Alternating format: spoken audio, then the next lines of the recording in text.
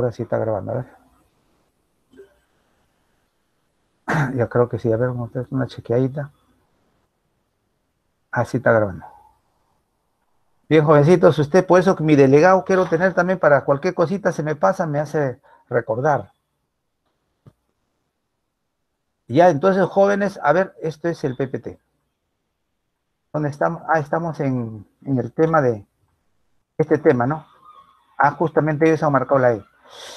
Por eso le estaba diciendo, el, quizás cuando veamos un poco teorías atómicas, vamos a entender un poquito mejor la parte, la B, porque la B es síntesis de elementos radiactivos. Esto tiene que ver, como le estaba indicando, eh, con reacciones nucleares. Si tú tienes un neutrón que tiene número de masa 0 y carga 1, el número de masa, perdón, perdón, contrario es esto, eh, número de masa 1 y carga 0, lo bombardeas al sodio el sodio es 23, que quizás esto veremos más adelante, 11. ¿Y qué pasa? El sodio se transforma en sodio 24. 23 más 1, 24. Y 11 más 0 es 11. Este ya es radiactivo. Es un radioisótopo. Este es un radiactivo, radioisótopo. Entonces, pero esto no es químico, mejor. Esa es física nuclear. Porque tiene que ver con el núcleo. La química estudia con la nube electrónica. No nos metemos en el núcleo nosotros. Por eso yo digo, tengo, pero de repente al hacer esto, había un tratamiento previo, igual que acá también. Por eso quizás, como dice, relación, nada más por ahí, pero no es directamente. Pero la ESI completamente no es, ¿no? Por eso nada más. Lo dejamos, jovencito. ¿Está bien en algo? ¿Se aclara su duda? Sí, gracias, profesor. Ya listo. Bien, jovencito, ahora entonces entramos a materia. La materia es todo aquello que existe en el universo y que presenta dos propiedades fundamentales. Toda materia tiene dos cosas importantes. ¿Qué tiene? Toda materia tiene inercia. La inercia. Y en otras palabras, significa masa. La masa es la mayor inercia de un cuerpo. Entonces yo puedo decir inercia, pero eso está relacionado con la masa. Ahí está. Extensión significa volumen. Toda materia ocupa un espacio, un lugar en el espacio. Tiene volumen, esa es extensión. Entonces, toda materia, si usted quiere ver algo que sea materia, tiene que ver primero tenga masa. Si tiene masa, obviamente tiene inercia. Y tiene que tener volumen, ocupar un espacio. Por ejemplo, la luz no es materia, porque no tiene masa. Tiene volumen, a ver, tú no puedes decir dos litros de luz, no. No puedes hablar dos litros de luz, ni un litro de luz, nada. No tiene volumen. O el pensamiento. ¿Cuál es la masa del pensamiento? No es las ideas, el amor, la alegría, la tristeza, los sentimientos, no es materia. La sombra no es materia. ¿Cuál es la masa de la sombra? ¿Qué volumen tiene la sombra? No tiene. Entonces no es materia. Entonces, ¿qué será la sombra? A ver, para ustedes, ¿qué es la sombra? ¿Será energía? Tampoco es energía. ¿Qué es la sombra entonces? A ver.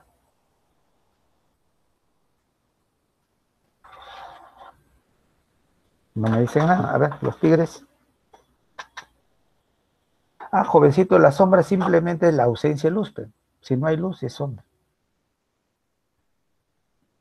Relacionado con ocupar un volumen, ya ves. De acuerdo a su composición, toda materia se clasifica en sustancia cuando su composición es constante y, e invariable. Y listo. Entonces vamos ahora a ver la clasificación de la materia. En el universo está formado de materia y energía, y ambos se transforman mutuamente. Cuando la materia se transforma en energía, o viceversa, eh, acá hay una relación. El cambio, la variación energética es igual a masa por velocidad de la luz al cuadrado. Esto lo planteó Einstein, ¿no? Ustedes saben, eh, si yo tengo la masa, lo reemplazo por la velocidad de la luz al cuadrado, me da la energía. ¿Cuál es la energía equivalente? Claro, pequeña masa da enorme energía. Es usado, usado en las armas nucleares. pequeña masa se origina gran energía. ¿Por qué? Porque esta masa multiplica por velocidad de la luz, que es una cantidad enorme, al cuadrado más todavía. Por eso pequeñas masas originan grandes energías. Esa es también la solución energética para el futuro, porque en el futuro nosotros usaremos energía de fusión nuclear para obtener, ponte que tienes juntas deuterio con protio o con tritio, entonces mediante la reacción nuclear podemos obtener energía. Por el momento lo dejamos ahí. Cuando entremos en teorías atómicas podemos detallar un poco más del tema. Bien, y la materia se divide en qué? Sustancia y mezcla. Entonces una materia puede ser una sustancia. ¿Quién es una sustancia? Cuando hablo de sustancia me refiero al agua, por ejemplo. El agua es una sustancia. El agua es una sustancia. Otra sustancia, por ejemplo, puede ser el sodio, otra sustancia. Mezcla, por ejemplo, el aire es una mezcla. O otra mezcla, la tierra, el agua potable, agua de río, las bebidas gaseosas, son mezclas. Nuestro cuerpo humano es una mezcla.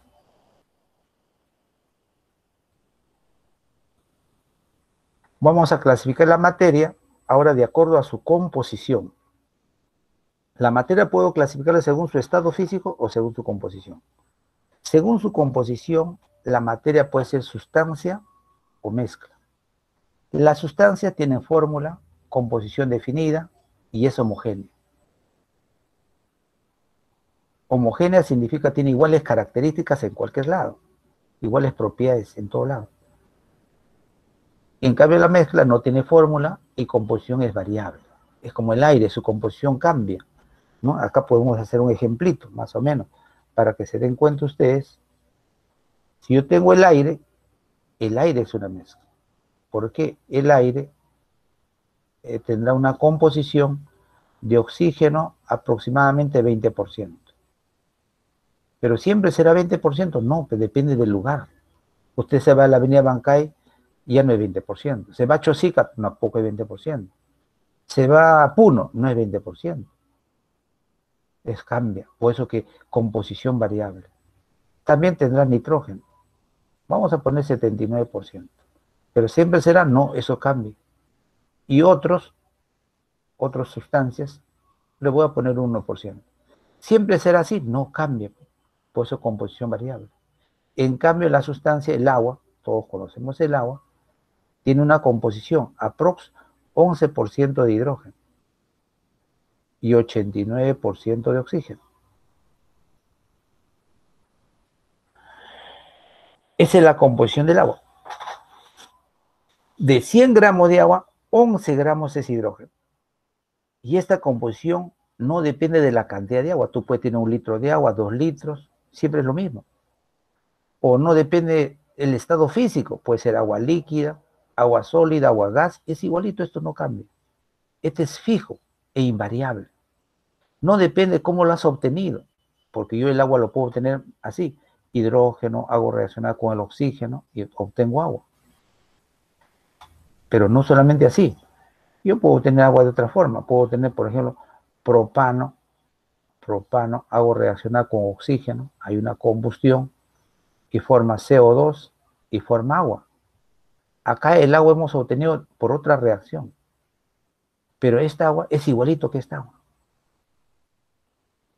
El agua del dinosaurio es el agua que está en tu cuerpo igualito.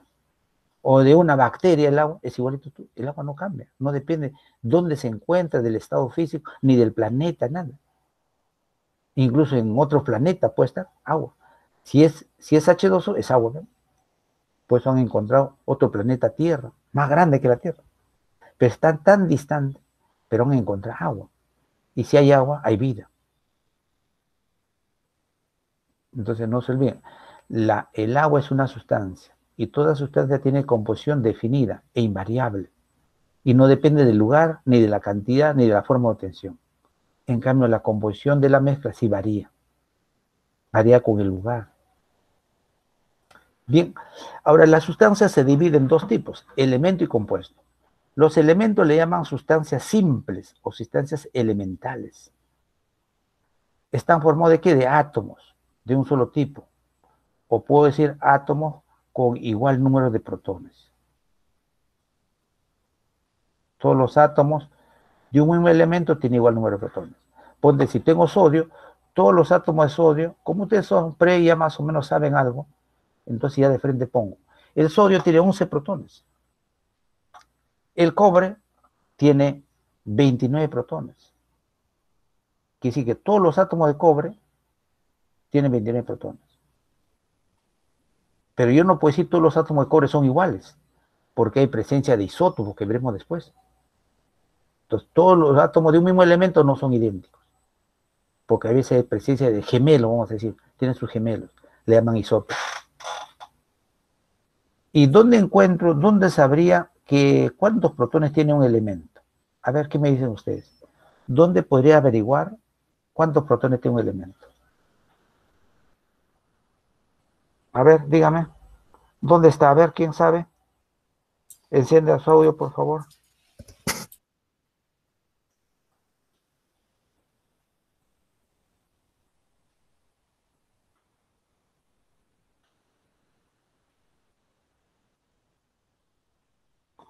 ¿Nadie sabe? ¿En la zona extranuclear? No, no, no, no, no. No, yo digo, ¿en qué lugar encuentra usted, por ejemplo, quiere saber el, los, la cantidad de protones que tiene el oxígeno? ¿A dónde tendrías que ir para averiguar? En la tabla. Claro, muy bien.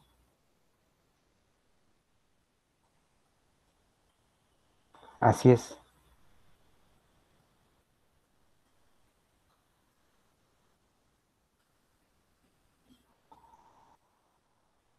Así es, jovencita. Entonces, eh, te vas a la tabla. En la tabla periódica está los elementos ordenados según el número de protones creciente. A eso le llaman número atómico. Bien. Entonces, ¿cuántos elementos tenemos? Alguien dirá, profesor, ¿cuántos elementos hay? Tenemos 118 elementos por el momento. Todos con su símbolo ya, según la YUPAC. Según la YUPAC, Usted entra en la tabla, ahorita están en internet las tablas, 118 elementos. Por el momento, 2001, 2021. Ahora, los elementos se unen en una determinada proporción y forman compuesto. Como el agua, se obtiene hidrógeno más oxígeno, pero en una proporción de 2 a 1. O el metano, 1 a 4, formado por átomos de diferentes tipos. Es un compuesto. ¿Cuántos compuestos hay? Uy, acá habrá más de 100 millones. Más de 100 millones. Millones, ¿ah? Y de esos compuestos hay compuestos orgánicos, como el metano, que serán alrededor de 90 millones, y el agua, digamos, un 10 millones, compuestos inorgánicos. Hay más compuestos orgánicos que inorgánicos compuestos orgánicos serán por lo menos, incluso más de 90 millones. Inorgánicos, menos de 10 millones. Formado por átomos de distintos tipos. Compuesto. Bien, los elementos se transforman en compuestos, se juntan, o también el compuesto se descompone en elementos, pero mediante cambios químicos.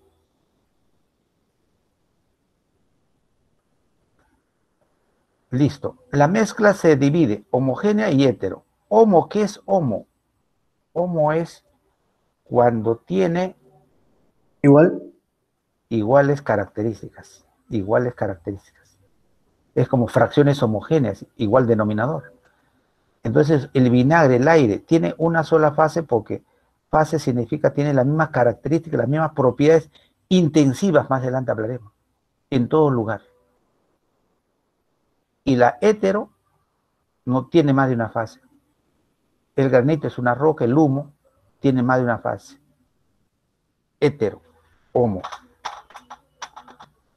Entonces, miren, esta es una clasificación de la materia según la composición. La materia puede ser sustancia o mezcla. La sustancia se divide elemento o compuesto. Y la mezcla homo o hetero. Y acá nos explica un poquito las sustancias son variedades de materia cuya composición es definida, constante e invariable y cuyas propiedades son independientes de su origen. Ahí está la definición de sustancia.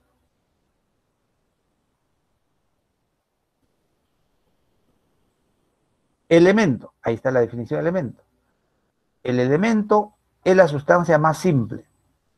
Puede estar en estado gaseoso, puede ser metales, no metales, metaloides, pero estas sustancias simples ya no se pueden descomponer por métodos químicos en otras sustancias más sencillas. Sustancias simples. Las sustancias simples, dice, sustancia elemental también le o elemento químico, son aquellas sustancias que por cambios químicos convencionales, no era necesario poner cambios químicos convencionales, cambio químico nada más, no pueden descomponer en otras sustancias más simples. Sus unidades, puede, sus unidades químicas pueden ser átomos, moléculas constituidas por átomos con igual número atómico. Es más adelante hablaremos de número atómico Z. Ya le he comentado eso. Hay elementos, sí, hay que tener cuidado, que en la naturaleza se encuentra en forma diatómica. Es el caso del oxígeno, o dos, pero sigue siendo elemento. O el ozono, por ejemplo. Hay ciertos elementos que se encuentran, por ejemplo, el oxígeno, es O2, o su alótropo es el O3, ozono. El O3 es el ozono. Pero sigue siendo sustancias simples, elementos. A esto le llaman alótropos. O puede ser poner el símbolo O nada más del oxígeno, atómico le llaman. Oxígeno molecular le llaman al O2 y este es ozono. Pero siguen siendo sustancias simples. No es un compuesto. Para que sea compuesto tiene que ser como el CO2, distintos elementos. Un carbono, un carbono que está al centro, un carbono, un carbono, con dos oxígenos. CO2. Una mezcla puede ser homo o hétero. Homo, por ejemplo, acá, sulfato cúprico disuelto en agua homogéneo. Dice que el color es igual en cualquier lado, igual color. La densidad será igual en cualquier lado. La temperatura es igual en cualquier lado. La composición es igual en cualquier lado. Es homo. En cambio, hetero, las heteros pueden ser suspensiones, emulsiones que llaman coloides.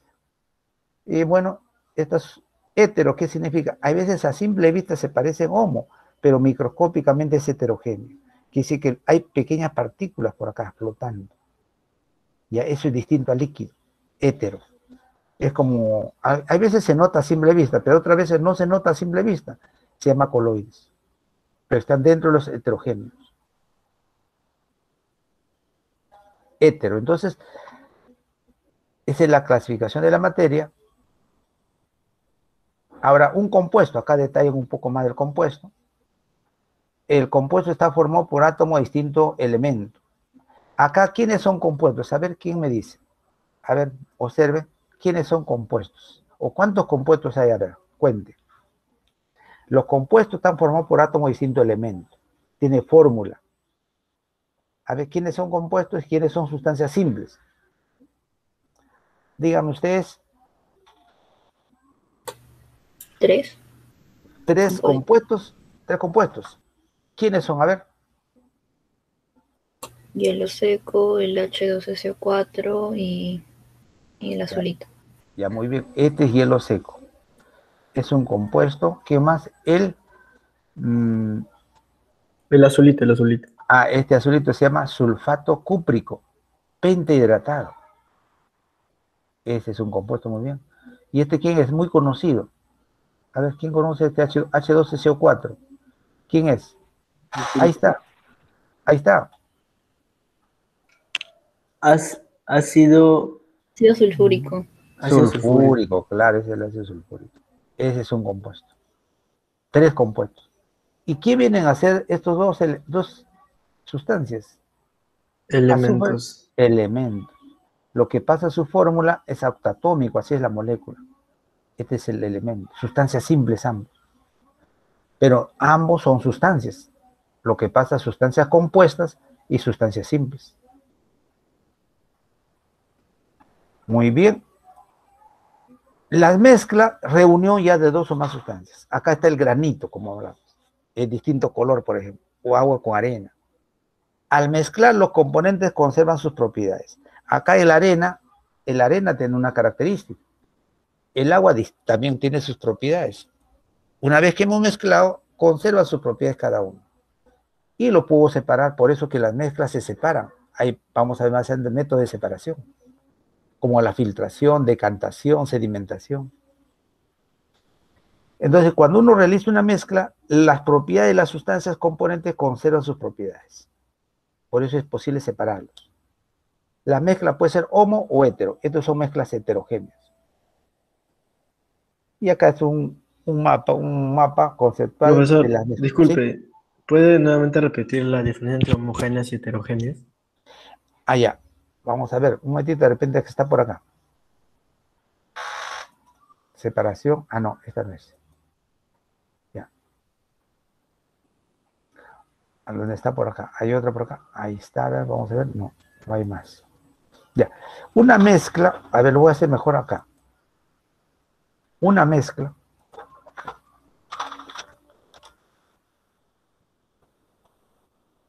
Como lo vimos creo que en una diapositiva anterior.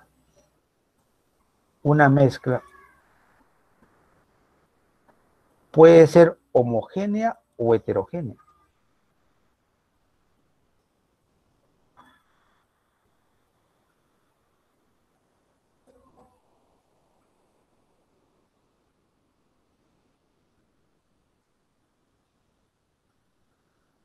Homogénea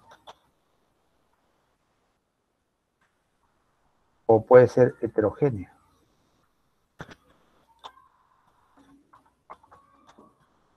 Heterogénea, puede ser homo o hetero.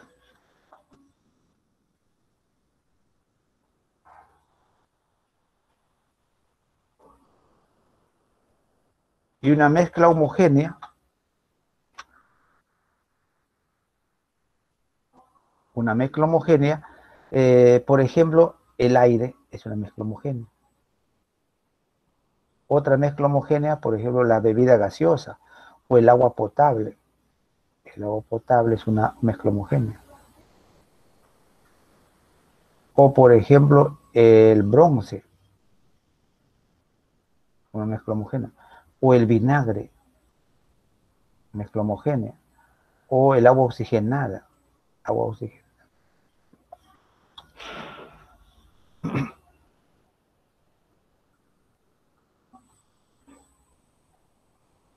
Agua oxigenada. Y hétero sería, como hemos visto, la agua de mar, agua de río.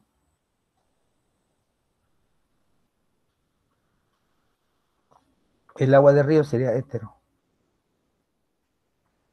Otro hétero sería ver mm, la pintura.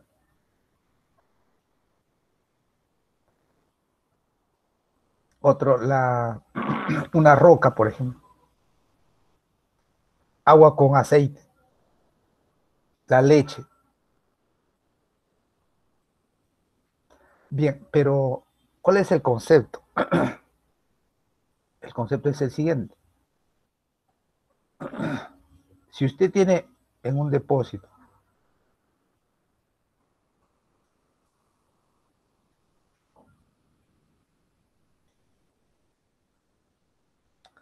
Vamos a suponer que acá tenemos un poco de agua potable. ¿Qué significa agua potable? Que usted ahí tiene H2O, pero no solo H2O, hay también iones cloruro, iones sulfato,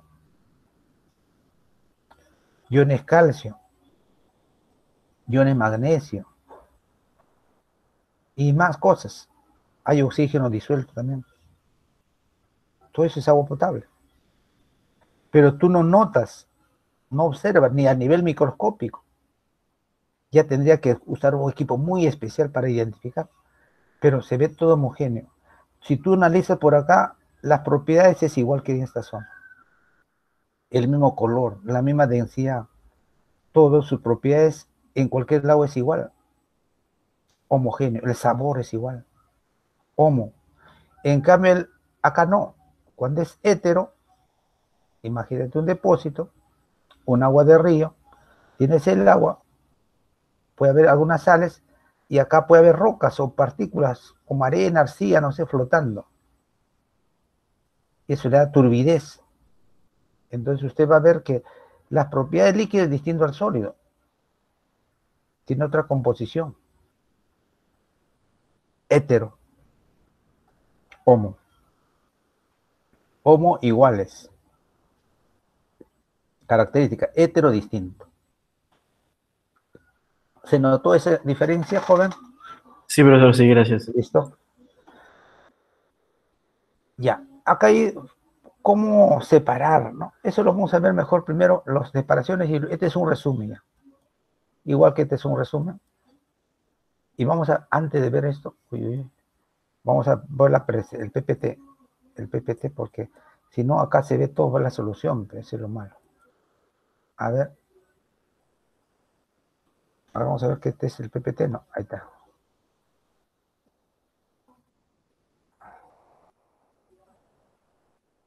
A ver, esa preguntita, por favor. Ya lo discutimos el otro mapa, el mapa. Piensa en un momentito.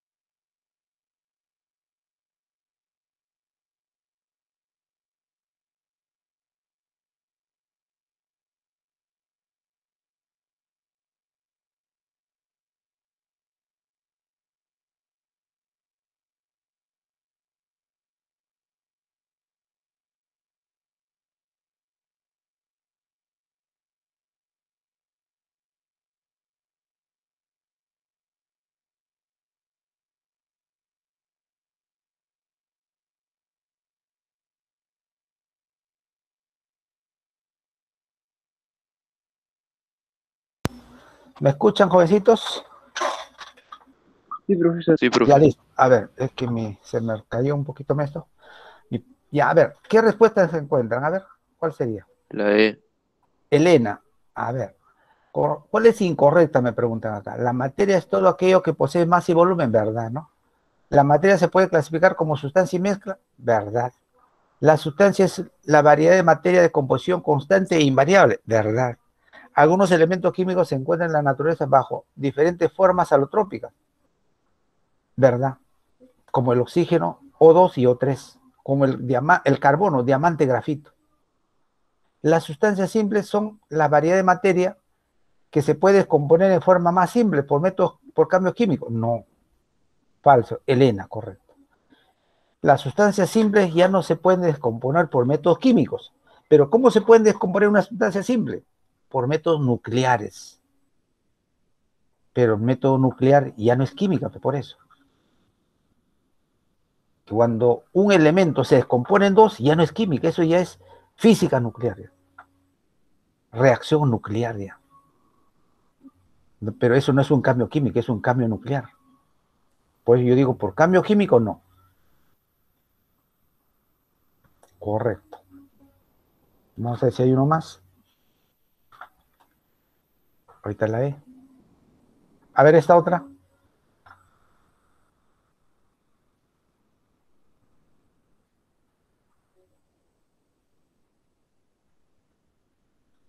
Profesor. Sí. Profesor, ¿le puedo hacer una consulta? Pregunte, señorita.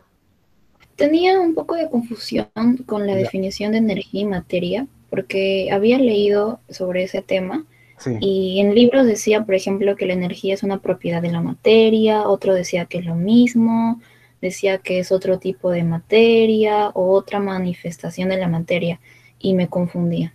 Entonces, por eso es que quisiera saber si es lo mismo o de qué forma lo tomo, porque sé que la ah, materia es eh, volumen, pero así, sí, hay libros que hacen así y, y, te van a confundir. Mejor pónganlo diferente. Materia, una cosa, energía, otra cosa. Ya cuando usted se estudie, digamos, doctorado y hace especialidad, quizás puede entender ya un poquito más esos temas de que la energía es una forma de materia. Mejor no, separado. Y así lo consideramos nosotros. Materia, una cosa, tiene masa, volumen. Energía, no. Energía es capacidad para realizar trabajo. Eh, hay distintos tipos de energía, pero no puedo decir que la energía es una forma de la materia. No, mejor no, separado. Que lo que puede decir sí es la materia se transforma en energía y viceversa, nada más. ¿Está bien ahí? Gracias. Ya, listo. A ver, esta preguntita, ¿cuál marcaría? Identifique, a ver, verdadero o falso. Los compuestos químicos se separan en sus correspondientes elementos por procedimiento químico. Eso es verdad. El compuesto se descompone. El agua se descompone en hidrógeno oxígeno por electrólisis. Es verdad. La B o la 2, una sustancia compuesta, al decir sustancia compuesta están hablando de compuesto químico, como el agua. Está formado por una mezcla de dos o más sustancias simples. No, mezcla, no está, una sustancia compuesta está formada por dos o más elementos en una proporción definida. No, esa es la dos sería falso. La tres, las mezclas homogéneas se pueden separar por filtración. No. Cuando es homo, no se puede filtrar. Cuando es homo, se destila. Vamos a ver luego recién los métodos de separación. Cuando es heterogéneo, partículas flotando, se puede filtrar. Y a eso lo vemos después.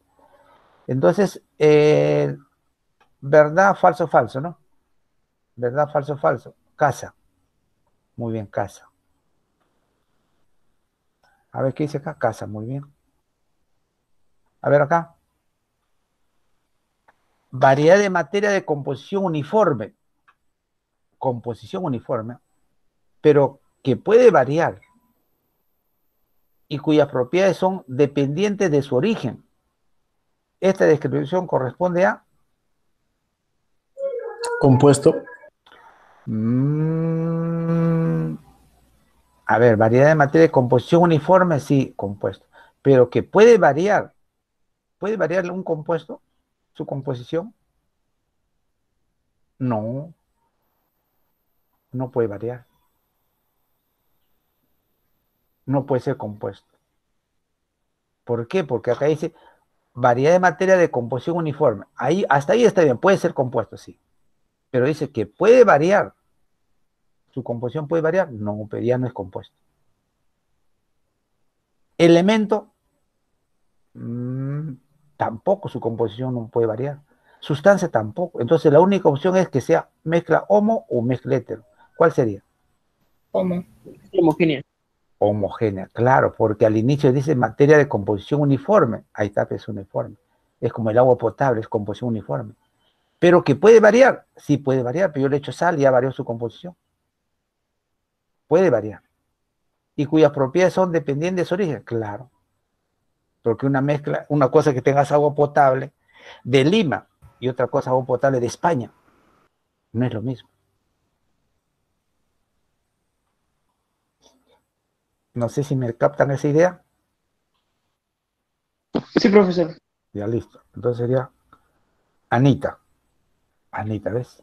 A ver qué dice. Ese dice el autor. Estos problemas yo no lo he hecho.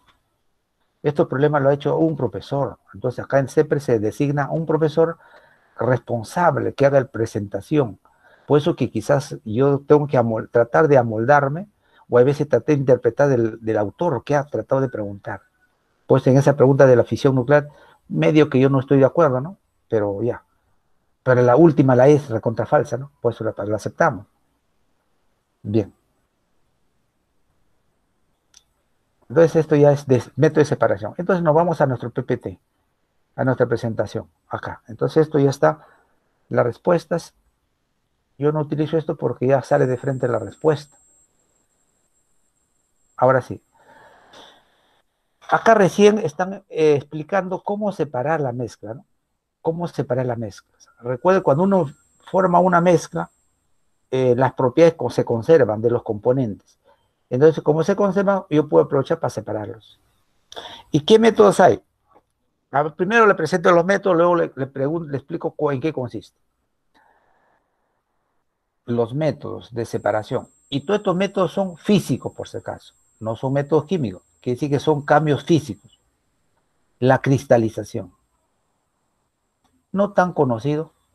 Otro, destilación. Esto sí muy conocido, destilación. Destilación. Otro, evaporación. Otro, cromatografía. Métodos físicos, ¿ah?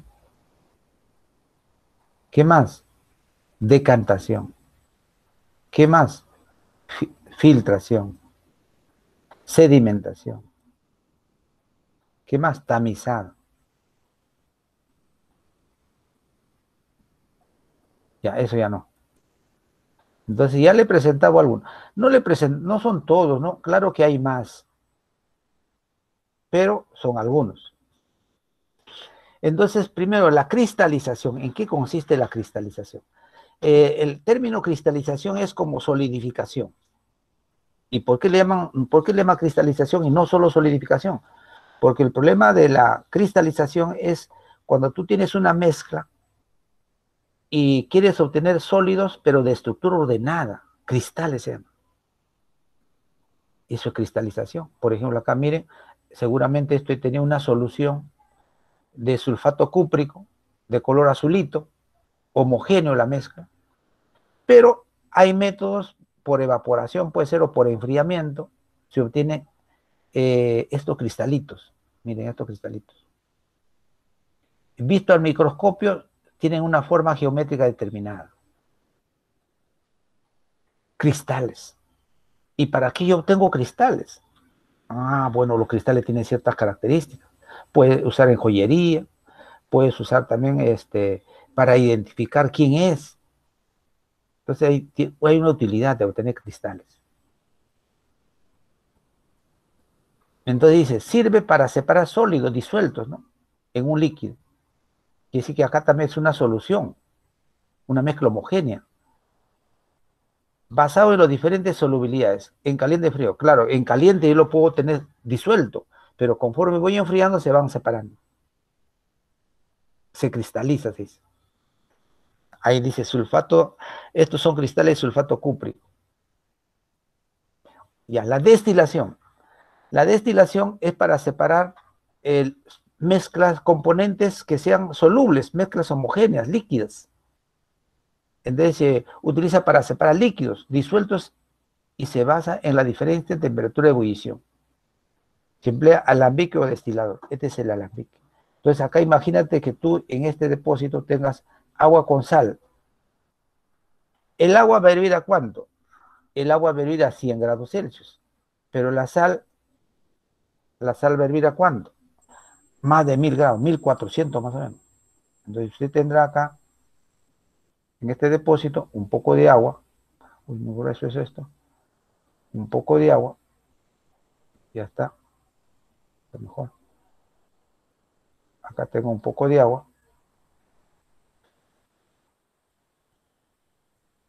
Y vamos a suponer tenemos sal, cloruro de sodio. Es una mezcla homogénea. Si yo quiero, podría cristalizar, sí, pero no quiero cristales, no quiero obtener cristales, lo que yo quiero es separar el agua de la sal. Lo que podría hacer es hacer calentar. Al hervir, el agua va a hervir a 100 grados Celsius y sale el agua. Y la sal se queda, porque la sal para que comience a hervir requiere más o menos 1480, algo por ahí, grados Celsius. Y el agua requiere 100. ¿Qué diferencia en las temperaturas hay? Uy, algo muy, muy grande, ¿no? Más de mil la diferencia. Entonces el agua sale al vapor y luego por acá, por este tubito pasa el agua y pasa por el centro. El agua se va por el centro.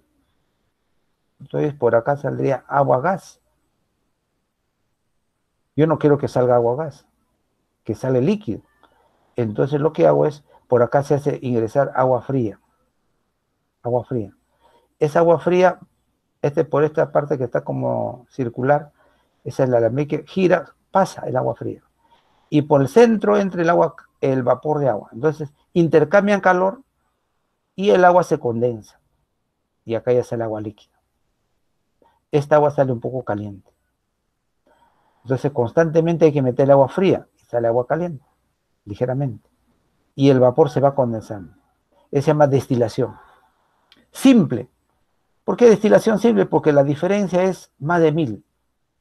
¿Qué pasaría si yo tengo agua con alcohol? Ahí ya no ser destilación simple, porque el agua va a hervir a 100.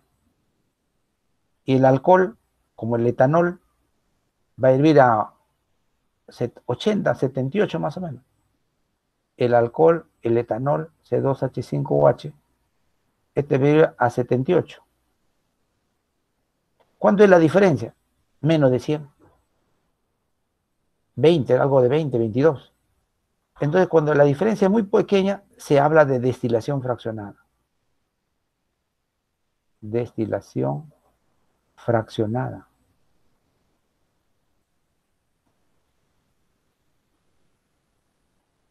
Ya está, destilación fraccionada. Destilación simple. Pero hay veces no le complican nada, solo le dicen destilación. Ya no, no, hacen tanta diferencia. Pero si así hubiera una diferencia, ya ustedes saben a qué se refiere. Fraccionada, cuando la diferencia es menos de 100. Y si es más, a destilación simple. Por ejemplo, cuando se separan los componentes del petróleo, destilación fraccionada. O se obtienen distintos perfumes o licores, destilación eh, fraccionada. No es simple. Más es usado destilación fraccionada. Evaporación, eso todo lo entendemos, lo dejamos calentar o por el aire nada más se va, el agua se va, la sal se queda. Evaporación, como la evaporación del agua de mar. Así obtenemos la sal de mesa. Cromatografía quizás un poquito más complicado. La cromatografía es cuando tú tienes eh, una mezcla, pero pequeña cantidad, y tú lo puedes separar en sus componentes es como, por ejemplo, yo tengo una tinta negra. Le hago una marquita acá, un puntito, y esa pintura negra se puede separar, sumergiéndolo en un solvente como alcohol o acetona, algún solvente. Entonces el solvente sube por la pared. Una vez que se encuentra con, el, con esta mezcla, entonces se disuelven los componentes en ese solvente. Y el que tiene mayor rapidez va a ascender, sube. Se adhiere y sube, trepa más. El otro se va quedando y otros se van y acá están separados ya. Esa es la cromatografía. Claro, hay método de saber ya, una vez que están separados, de identificar quiénes son. Entonces se utiliza, dice, para separar componentes de una mezcla basados en la diferente movilidad de los componentes. Claro, entre la fase estacionaria se refiere al papelito y la fase móvil se refiere al solvente. Entonces, distinta adherencia, puedo decir, también tiene sobre el material. Este papelito puede ser papel filtro o hay veces se utiliza una tiza u otro medio. Es un método, digamos, de separación, vamos a entender. También de mezcla sustancias solubles, pero pequeñas cantidades. Cromatografía. Decantación es cuando tú tienes una mezcla eh, heterogénea, tipo agua con aceite. Esta es una pera de decantación. Eh, se abre esta llavecita, el más denso está abajo, el menos denso arriba. La abres y cae el más denso. Y luego el, otro, agua con aceite, decantación. Pero también puede ser cuando tienes agua y sólido. Tú lo has dejado al sólido, agua con arena, lo dejas sedimentar, dejas en reposo, la arena se va al fondo con el tiempo, el agua queda arriba. Luego lo inclinas levemente, así, despacio, en un solo, de una sola vez, porque tú no lo puedes soltar acá y regresarlo, porque inmediatamente esta partícula se levanta. Despacito lo inclinas. Entonces es un método de separación llamado decantar. Acá decantamos y acá también decantamos. Filtración es más fácil, ¿no? Cuando hay algo suspendido, un papel filtro, o puede ser algodón o una tela, el agua pasa y las partículas flotando quedan acá, quedan a las partículas ahí. Se llama filtración. Hoy quedan las partículas.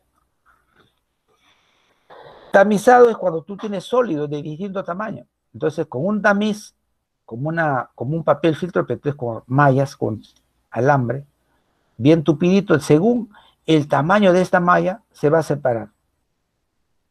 Entonces, acá hemos separado una sola malla, pero a veces se tiene dos o tres mallas, con una, con un, digamos, eh, con una porosidad. Tamizado, separación de dos o más sólidos de distinto tamaño con el tamiz o criba, también le llaman tamiz o criba, que deja pasar solo a los, más, a los de tamaño menor, ¿no? O los menor tamaño. Tamizado, para separar sólidos. Yo no puedo esta mezcla heterogénea hacer un tamizado, ¿no? Tamizado es para sólidos. Entonces, según el mezcla que tú tengas, vas a hacer una operación, según el tipo de mezcla. Profesor, disculpe. Pregunte. Este, las mezclas que han mencionado ahorita son las más fundamentales. ¿Significa que hay más? Así es, hay más, sí. Pero las que vamos a usar más que todo en este tiempo de ser ah, son las que mencionó, Así es, así es. Muchísimas gracias. Siempre usted, si usted busca, primero aprenda lo que vemos en el PPT. Si le sobra un poquito de tiempo, usted amplía un poquito más. Y así poco a poco, pero lo mínimo es lo que vemos acá. Ese es lo mínimo. Profe, una pregunta. Tenía duda por la levigación. ¿La levigación sería homogénea para mezclas homogéneas o heterogéneas? Ese es este, mezcla hetero, Ese es este, vamos a ver por acá un momentito. Hay más métodos, como le digo, un momentito. A ver. Hay varios métodos para obtener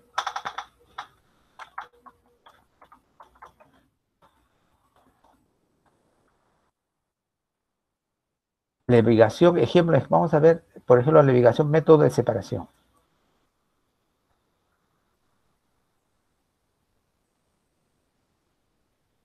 Acá esta vez, no sé si ven. Esa es la levigación. Es otro método de separación, la levigación por acá.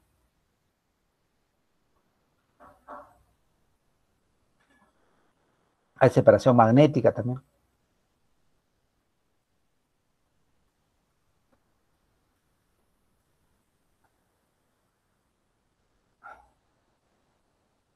Acá hay un dispositivo para hacer ya máquina, no, se, no se nota mucho, la levigación, separar sólidos. ¿no? Puedo ser también otro, quizás no se nota mucho acá. Mm. Este es el famoso tamizado es el famoso tamizado. De un tamiz sale otro tamiz más, más fino. Te va tamizando.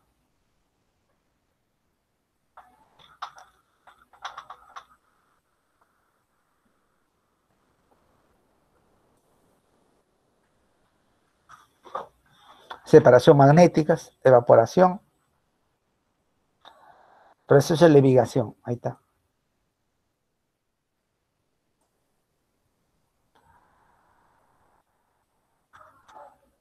arena a serrín.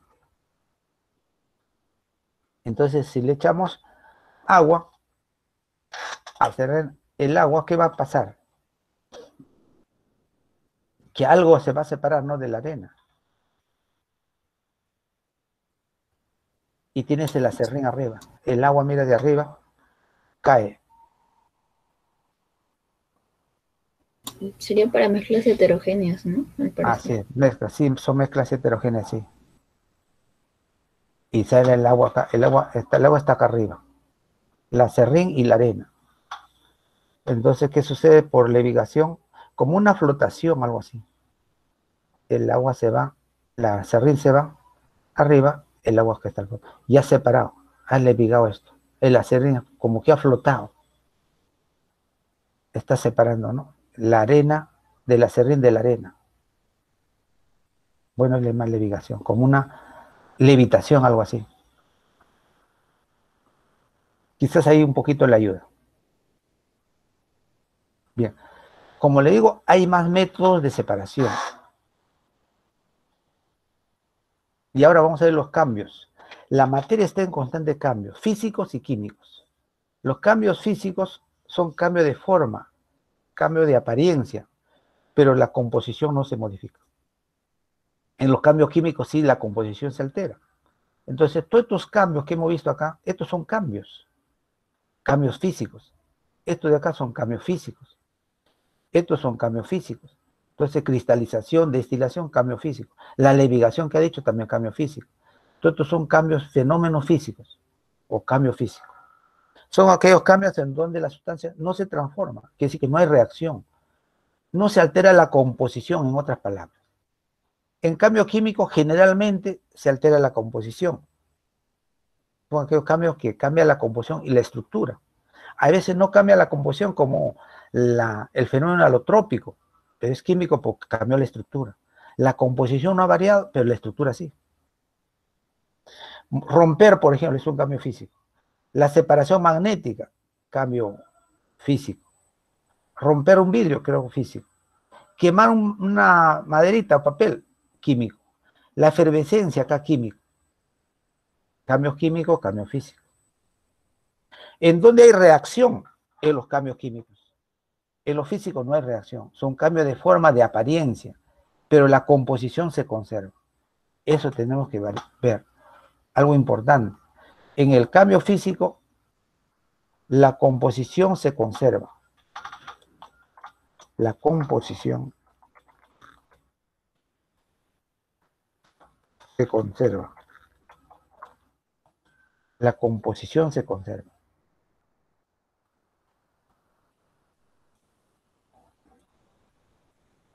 En cambio, en el cambio químico, la composición cambia. Generalmente, ¿no?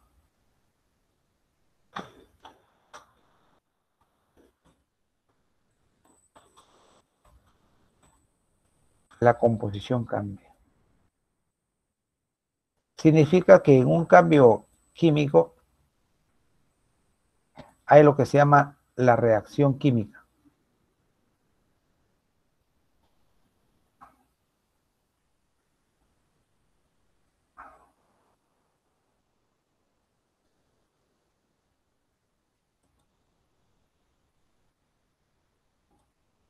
La composición cambia. Acá no, se conserva. Acá emiten distintos fenómenos físicos y químicos. Cambio de estado son físicos. La medición de la temperatura físico. Movimiento pendular físico. Eh, separación magnética físico. Evaporación o ebullición físico. La descomposición de la luz blanca en sus componentes, la formación del arco iris es la refracción de la luz físico. El sonido sería físico. La combustión químico, la digestión químico, fenómenos bioquímicos, oxidación químico, lluvia ácida químico, cambios de la materia como la formación de un hongo es químico, conversión de la, en energía en las pilas, baterías, químico, corriente eléctrica, físico. Pues depende, entonces, en el mundo hay ciertos cambios físicos y químicos. Hay veces, claro, el cambio está junto, y hay veces no se nota, ¿no? Hay físico y químico a la vez. Profesor, disculpe, un ejemplo de cambio físico y químico junto. A ver, por ejemplo, acá, ¿no? Freír un huevo. Hay cambio químico, porque las proteínas se cambian, pero también es cambio físico, porque cambia de forma. Pero en esos casos, ¿qué hay que considerar? El químico nos manda. Pero hay veces no siempre va a haber solamente un cambio en la naturaleza. Hay veces hay dos cambios juntos, pero uno habrá que nosotros definirlo. Es como las mezclas. Las mezclas es homogénea o hetero, pero hay que tener cuidado. Porque si yo tengo una mezcla, por ejemplo, vamos a un lapicito por acá. Bueno, vamos a poner rojo, no importa. Imagine que yo tengo acá un depósito en el cual tenemos una mezcla heterogénea. Por ejemplo, ¿quién puede estar acá? Puede estar el agua, puede estar un poco de sal, pero la sal se disuelve en agua y puede haber, por ejemplo, otra, otras partículas otras partículas. Puede ser algún plástico, un papel, no sé. Ya. Entonces, es heterogéneo. Heterogéneo. La mezcla es heterogénea. Pero también una partecita de acá es homogénea.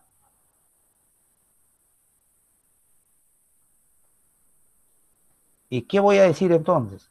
Lo que manda es el total, todo se ve heterogéneo. Pero no quiere decir que solo es heterogéneo. Parte de la mezcla puede ser homogénea. Pero eso no lo cuento, yo lo considero todo heterogéneo. A eso me refiero. Por eso en un cambio químico probablemente también hay cambio físico, pero no lo cuento. Salvo que diga solo el cambio químico o algo así. Ahí sí. Pero como no tratan de complicarles a ustedes, así no me lo consideramos. Pero le hago la observación. A ver, ahora vamos a ver características. Esa característica de la materia se llama propiedades. La materia tiene propiedades. Y hay propiedades que son intensivas, acá le han puesto propiedades intensivas, propiedades intensivas,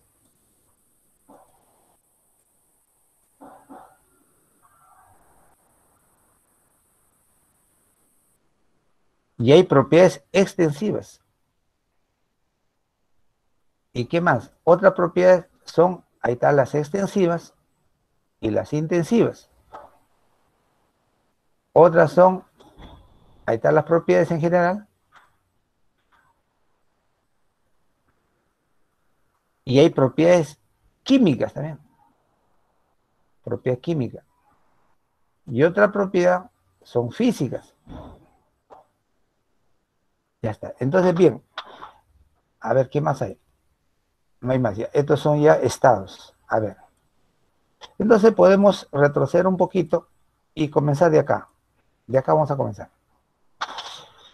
Eh, una propiedad, ¿qué es una propiedad? Una propiedad es un atributo, una característica, cualidad que tiene la materia. Tiene, entonces por eso son cualidades, atributos que permiten identificar o diferenciar una sustancia de otra, o una materia de otra, por ejemplo el mercurio con el sodio. Su estado físico, el estado físico es una propiedad. Ambos son este es líquido y este es sólido a esta temperatura. Temperatura de fusión, menos 38,4. De este 97,8. Temperatura de ebullición, 357. Acá 892. Densidad 13,6. Densidad 0,97. Color blanco plateado. Color blanco plateado. Muy tóxico. Reacciona con rapidez con el agua. Inerte en gasolina. Calor específico, 0,33 gramos, calorías, gramos, grados Celsius. Le han dado un conjunto de propiedades. Esos son propiedades, características, atributos, cualidades. Y las propiedades se dividen. Yo lo divido así. Propiedades. Y vamos a cambiarle el colorcito.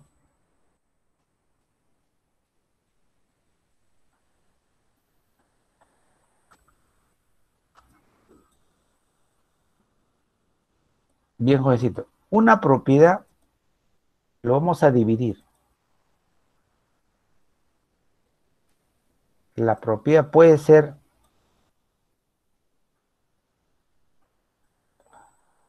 a ver, una propiedad puede ser física, propiedad física, o puede ser una propiedad química.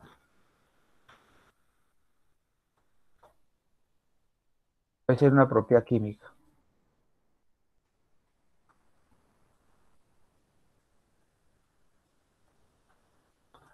Y la física puedo dividir en dos tipos. Una propiedad física puede ser intensiva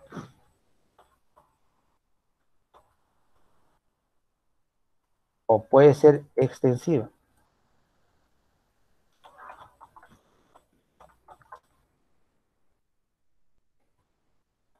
Las químicas son generalmente intensivas. Al nivel pre todo lo ponemos las intensivas. Generalmente intensivas.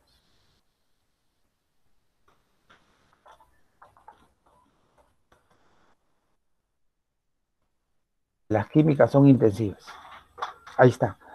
Ahora, ejemplo. Y luego le damos el concepto.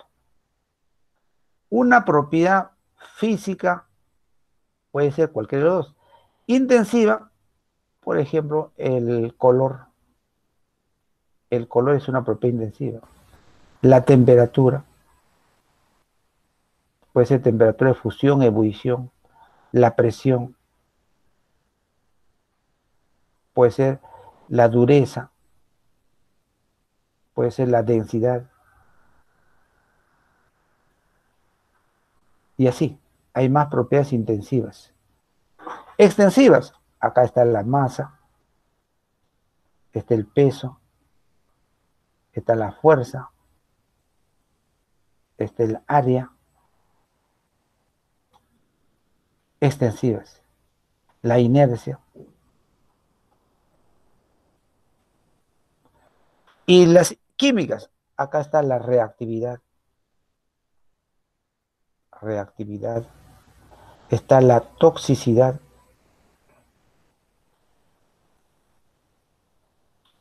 está la fermentabilidad.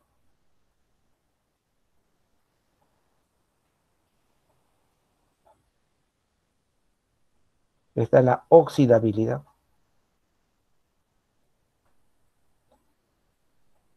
Está la acidez. Lo contrario, basicidad.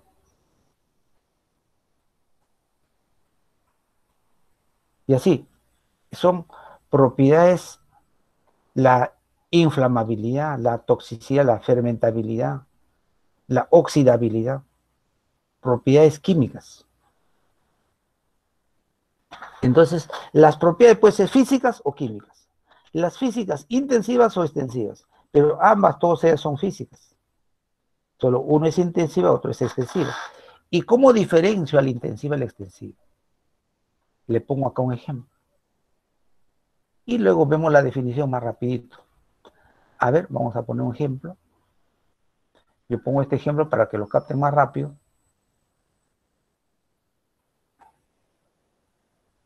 Vamos a suponer acá tenemos un depósito. Y vamos a suponer que ahí tenemos agua. Un ejemplo sencillo, agua.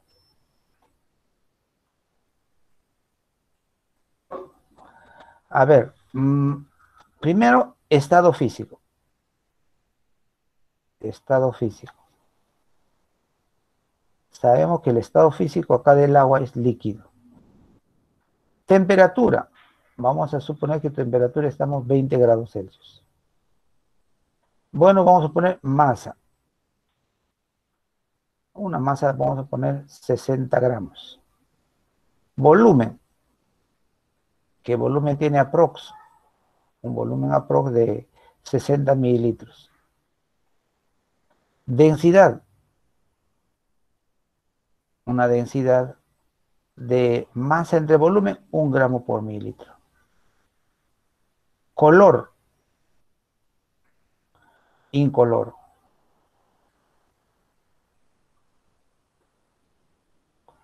Y así, puede haber más. Bien, ahora yo quiero saber cuál de ellos son propiedades físicas y químicas primero. De hecho, que estado físico, temperatura, masa, volumen, todos son físicas. Pero quiero saber cuáles son intensivas y cuáles extensivas.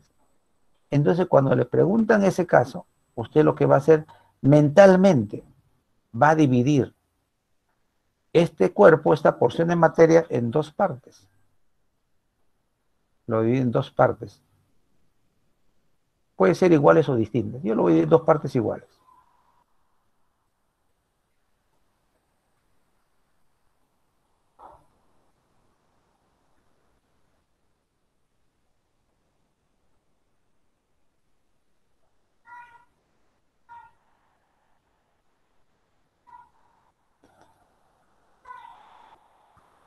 Acá tengo agua.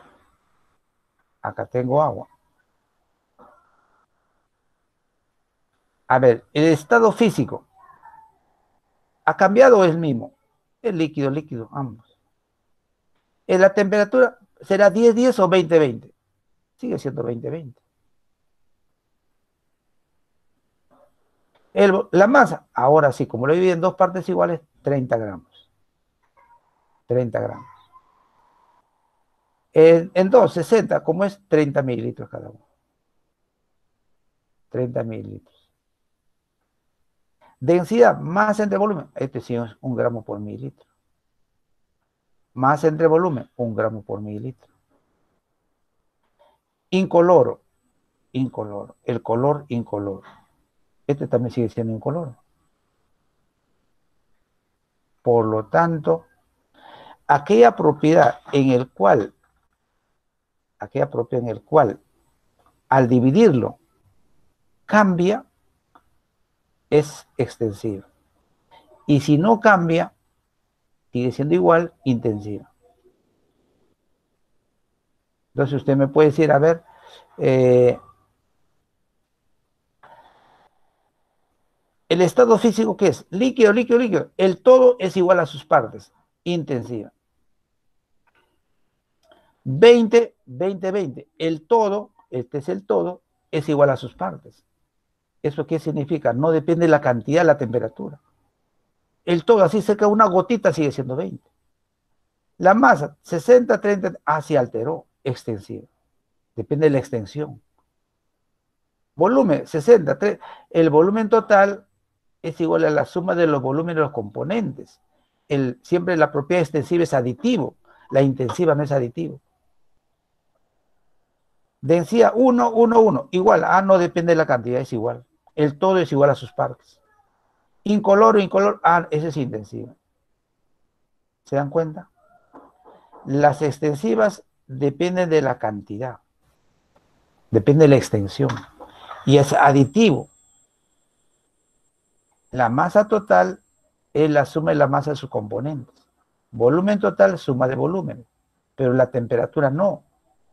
El 20 no es igual a 20 más 20, ¿no?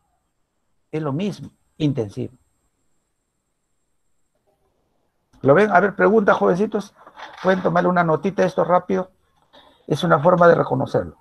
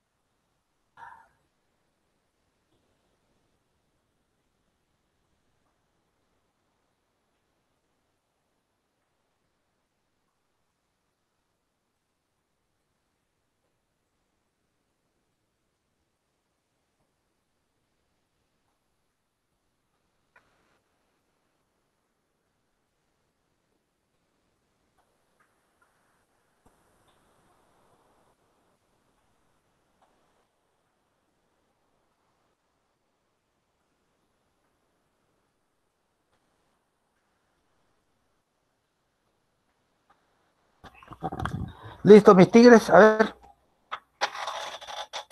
¿Alguna pregunta? Profe, mm, buenos días. Eh, tengo una consulta. Pregunte. Es una pregunta sobre el, sí, el número de átomos contenidos en una mol de cualquier elemento, ¿es intensiva o extensiva? A ver, vamos a ver eso. Vamos a descifrar. A ver un momentito. No sé si lo cambio esto ya. Está bien. Usted me dice el número de átomos en una mol. Lo que pasa es que una mol siempre contiene 6,02 por 10 a la 23 átomos. Entonces, si tengo una mol de cualquier elemento, sodio, calcio, siempre, si tú tienes una mol, hay esta cantidad de átomos.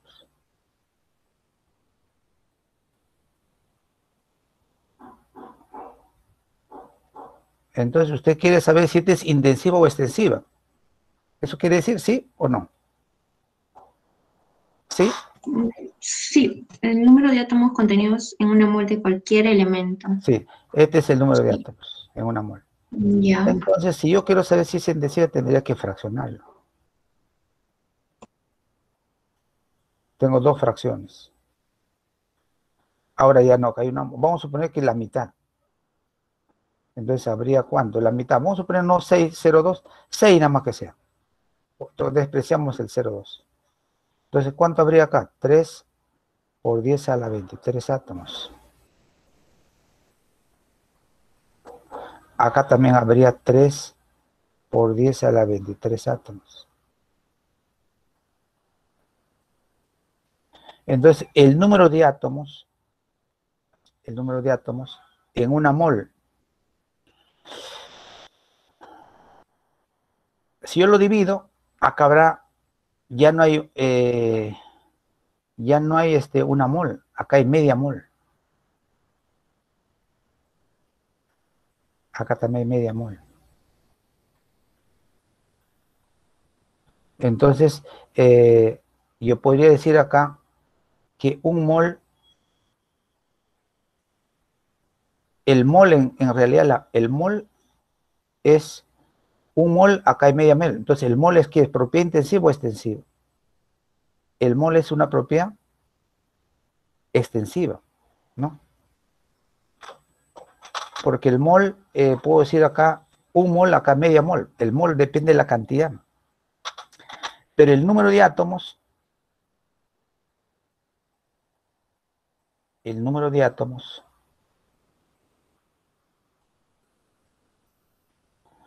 número de átomos ha, es, ha cambiado. Pero el problema, como te dice, el número de átomos por mol, el problema te está diciendo por cada mol.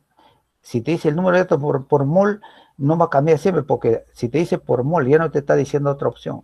Por cada mol, ¿cuántos átomos hay? Siempre en un mol va a haber esta cantidad de átomos. Mm, Te están diciendo por mol, ese es el problema. Te están amarrando. Ujú. Entonces, si es por mol, siempre va a ser intensiva. Intensiva. Ya, ya no, no podría dividirlo así porque te dice por mol. En media mol, pero yo quiero un mol. En un mol va a haber lo mismo. En media hay esto, en media hay esto. Pero te dice por mol. Y por mol va a ser siempre lo mismo. Por un mol siempre va a ser lo mismo. Ay, diciendo por ya. mol. Esa es la restricción. Ya listo. Bien. A ver, vamos a entonces retroceder. Hemos hecho un previo, un, paréntesis para explicarlo a mi modo. Quizás para que lo capten mejor, nada más. Entonces ahí están las, las propiedades. Entonces, ahora vamos a ver eh, qué son propiedades extensivas. Acá está el detalle que son propiedades extensivas, que son intensivas. Las extensivas depende de su extensión, son, son aditivas. No permite identificar a una sustancia. Son propiedades generales, también dice. El peso, la masa, volumen, inercia, fuerza, área, impenetrabilidad, porosidad, extensivas. Algunos le llaman propiedades generales de la materia. En las intensivas no cambian las propiedades cuando varía el tamaño de la muestra. No depende de su extensión. no son aditivas, permite identificar una sustancia. Son propiedades específicas. Entonces, ¿cómo reconozco a una sustancia? Con sus propiedades intensivas, con su temperatura de ebullición, temperatura de fusión, con su color, con su densidad, con su viscosidad, con su tensión superficial, sus propiedades intensivas, con su radio atómico, energía de ionización, afinidad electrónica, electronegatividad, y así. Propiedades intensivas. Está color, densidad, viscosidad, presión, dureza, maleabilidad, solubilidad, propiedades químicas. Generalmente las propiedades químicas son intensivas. Ahí está resumido, ¿no? Bien, también hay un método de reconocer a una extensiva. Es como, por ejemplo, ah, perdón, a una intensiva. Mm, como la, por acá aparece, creo, la densidad. La densidad es una propiedad intensiva. ¿Por qué? Porque es masa entre volumen. Y la reglita dice, el cociente de dos extensivas me sale intensiva. La masa es extensiva, el volumen es extensivo. El cociente, intensivo. El cociente de dos extensivas, intensivo. Ya esa es otra forma. Bien.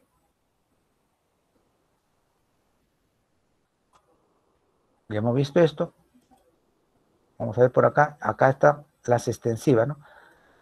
Ya está. Acá el punto de ebullición, punto de fusión, densidad son propiedades físicas. ¿Y por qué son propiedades físicas? Porque al medirlo no se altera su composición. ¿Y por qué son intensivas? Porque no depende de la cantidad. Tú mides el punto de ebullición del agua, 100. Puedes tener medio litro de agua, 100. Un litro de agua, dos litros de agua, 100. Igualito a las mismas condiciones, se supone, la misma presión atmosférica y todo. Punto de ebullición es intensiva. Y es física, porque al medir el punto de ebullición no se altera la composición del agua. Punto de fusión igual. Densidad igual. Al medir la densidad no se altera la composición. Propiedad mm, física. Intensiva no depende de la cantidad. Las extensivas, ahí está, masa, inercia, peso, volumen, elasticidad, impenetrabilidad, divisibilidad. Las extensivas eh, depende de la extensión de la masa, son aditivos. Si yo tengo un bloque de cuero, un bloque, lo divido en dos bloques, será, va a. Entonces sería una propiedad extensiva. La masa es la cantidad de materia que contiene un cuerpo. Lo divido, cambia la masa extensiva. La inercia es cantidad de materia también, es masa en el fondo, relacionada con la masa. Peso también igual, volumen igual. Lo que acá tengo mi duda en la parte impenetrabilidad es que dos cuerpos no pueden ocupar el mismo espacio al mismo tiempo. Quizás ya no se puede entender así. Entonces, elasticidad, impenetrabilidad y divisibilidad como son propiedades generales, lo podemos considerar dentro de las extensivas. Por ejemplo, elasticidad es la propiedad que tienen los cuerpos de cambiar de forma cuando son afectados por una fuerza y regresan a su estado original cuando la fuerza ha dejado de afectar. Aunque yo tengo mi duda con la elasticidad, parece que ahí más elasticidad encaja con propiedades intensivas no extensiva. Mm, parece que ahí hay una falla ya. Impenetrabilidad sí lo consideran siempre extensiva. ¿Por qué? Porque la impenetrabilidad es una propiedad de la general de la materia. Igual que la porosidad también, la divisibilidad también. Esto sí podemos poner dentro de las extensivas. Pero la intensiva yo tengo mis dudas. No. Este está dentro de las intensivas. Algo así como elasticidad, eh, como maleabilidad, ductilidad, ductibilidad intensiva de estar.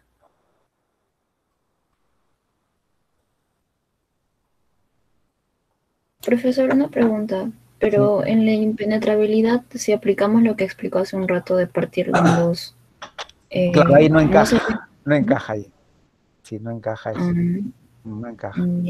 Solo por la propiedad general, nada más lo consideramos dentro de las extensivas. Sí, gracias. Ahí está las propiedades de la materia, hemos hecho el resumen. Propiedad química. Bueno, la propiedad química, generalmente cuando uno mide, hay un cambio, un cambio en la composición. La corrosividad, la corrosividad, reactividad, oxidabilidad, por ejemplo, combustibilidad.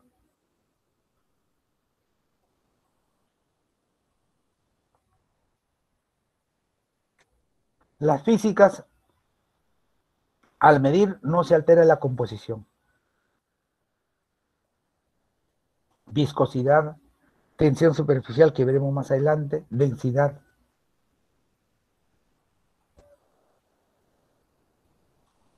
Bien, esas son algunas propiedades de la materia. Las propiedades, recuerden que son características o atributos. Pero antes de ello yo puedo hacer algo más. Miren, la densidad densidad es masa entre volumen. Este es extensiva. Este es extensiva. Cociente dos extensivas me sale intensiva. Pero lo contrario que es volumen entre la masa. Esto se llama volumen específico.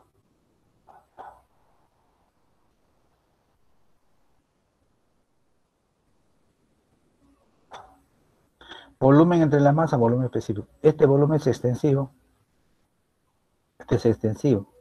El cociente intensivo. O a veces hablan de área, área específica. Esto viene a ser el área entre la masa. Área entre la masa, área específica. Área extensiva. Masa extensiva cociente intensivo. Entonces, siempre que le diga a ustedes específico, intensivo. Volumen específico, intensivo. Calor específico. Calor específico.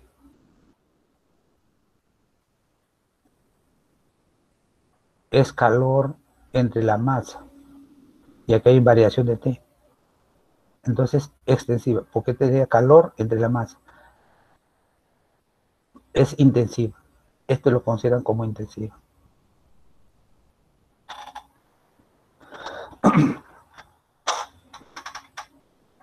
A ver, preguntitas.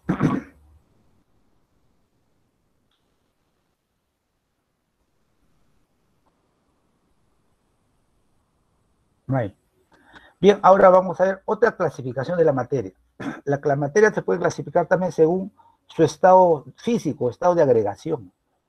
La materia puede ser sólido, líquido o gas. Ya conocemos, es muy conocido por nosotros. La materia puede estar en estado sólido, en estado líquido o estado gas. Las diferencias. El sólido, su forma es propia no depende del depósito. La forma es propia. El volumen es propio, no depende del volumen del depósito. ¿Y por qué razón? Porque en el sólido las fuerzas de atracción o cohesión entre sus partículas es mayor que de repulsión. Quiere decir que es como si las partículas se quieren mucho, se aman tanto que no quieren alejarse. Están ahí atrapados, unidos entre ellos. Por eso forma y volumen definido, incompresible, porque hay espacio libre, pero muy pequeño. La fuerza de atracción supera la de repulsión. La fuerza de cohesión mucho mayor. En el líquido, las fuerzas de atracción y repulsión están equilibrados. Por eso que el líquido, ya la forma va a depender del depósito. Esta forma adopta el depósito. Pero el volumen sí es fijo, propio. Es el volumen del líquido, propio, definido. Acá también el volumen propio, definido. En el gas, la forma va a ser dependiendo del depósito. El, el gas adopta la forma y el volumen también adopta la forma del depósito. ¿Por qué? Porque la fuerza de atracción es menor de la repulsión. Las partículas de acá se alejan entre ellas, pero como están, la pared lo detiene, por eso que el gas siempre ocupa todo el volumen. Habrá más espacios libres, por eso que el gas se comprime, compresible, el líquido y sólido incompresible. ¿Y cómo paso de un estado a otro? Cambiando la temperatura. Si yo aumento la temperatura, hacia la derecha. Hacia la derecha es endotérmico, le doy calor. Al sólido le doy calor, pasa líquido. Al líquido le doy calor, pasa gas. Y lo contrario es exo, exotérmico. De gas para pasar líquido tengo que quitarle calor. Por decir, bajar la temperatura y probablemente aumentar la presión. Y de líquido a sólido tengo que quitarle calor bajar la temperatura. ¿Y cómo se llama estos cambios? De sólido a líquido, fusión. Lo contrario es solidificación o congelación. Y hay una temperatura a la cual se funde, se llama temperatura de fusión. Y hay una temperatura a la cual se congela, temperatura de congelación. Ambas son las mismas. Por ejemplo, si fuese hielo, esto va a ser cero y esto va a ser cero. Entonces usted dirán, profesor, ¿cuál va a ocurrir? La 2 va a ocurrir. ¿Y cuál va a ocurrir eh, de forma constante? Depende. Si tú le das calor, se fundirá. Si le quitas calor, se congela. Depende. Entonces, si le das o le quitas. Y el líquido va a pasar a vapor. Y esa es vaporización. La vaporización, hay dos tipos de vaporización. Evaporación que se realiza a cualquier temperatura y para todos los líquidos, solo de la superficie, y el otro es ebullición, esto es a temperatura constante. Es como el agua bebida a 100 grados Celsius, pero se puede evaporar a 20 grados Celsius. Ambos son vaporizaciones. Y ambos son endotérmicos, hay que darle calor. Y lo contrario es licuefacción o licuación, y si fue, esta es licuación cuando es gas. Y cuando es vapor, condensación.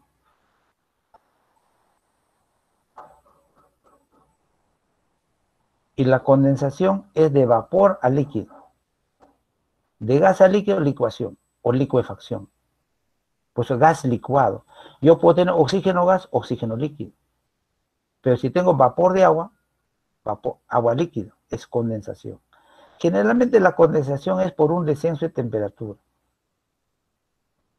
Y en cambio la licuefacción es aumento de presión y además descenso de temperatura.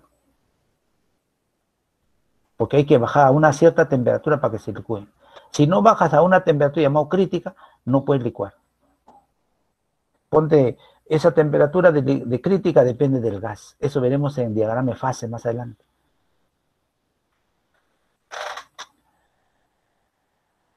Si, entonces, si la temperatura es alta, de repente el oxígeno, ponte el oxígeno para licuar, tengo que bajar por debajo de 0 grados Celsius.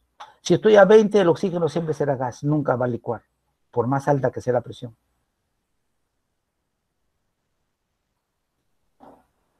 Obviamente que si te vas de sólido a líquido y luego a gas, aumenta el movimiento de las partículas. Y si te sigues aumentando, irás al estado plasmático. Si sigue bajando, irá a ser estado condensado Bose-Einstein o condensado fermiónico. Pero eso no lo vemos todavía. Estos tres lo más clásico por el momento. Claro, el cuarto estado, el estado plasmático, que abunda más en el universo. En la Tierra más abunda el líquido. Los otros estados todavía no nos, por el momento no nos interesan. Pregunta, jovencitos.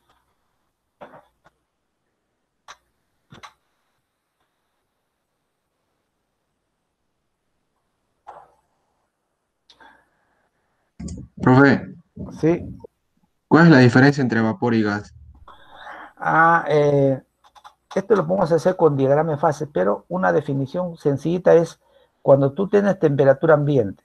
La temperatura ambiente lo consideran, acá también hay toda una polémica, 20 grados Celsius, para mí otros dicen 25. Entonces, entre 20 y 25, esa temperatura es el ambiente. Si a esa temperatura tú ves que la sustancia está líquido, entonces este líquido genera vapor. Pero si a temperatura ambiente está ya como gas, como el oxígeno, esto no va a ser, no tiene vapor. Este es gas nada más. Gas. El oxígeno, el nitrógeno es gas, no es vapor. A temperatura ambiente estamos hablando. Y por eso los gases se licúan, los vapores se condensan. El alcohol, ¿qué es líquido? El alcohol se condensa porque tiene vapor. El mercurio se condensa porque a 20 es líquido. El agua se condensa.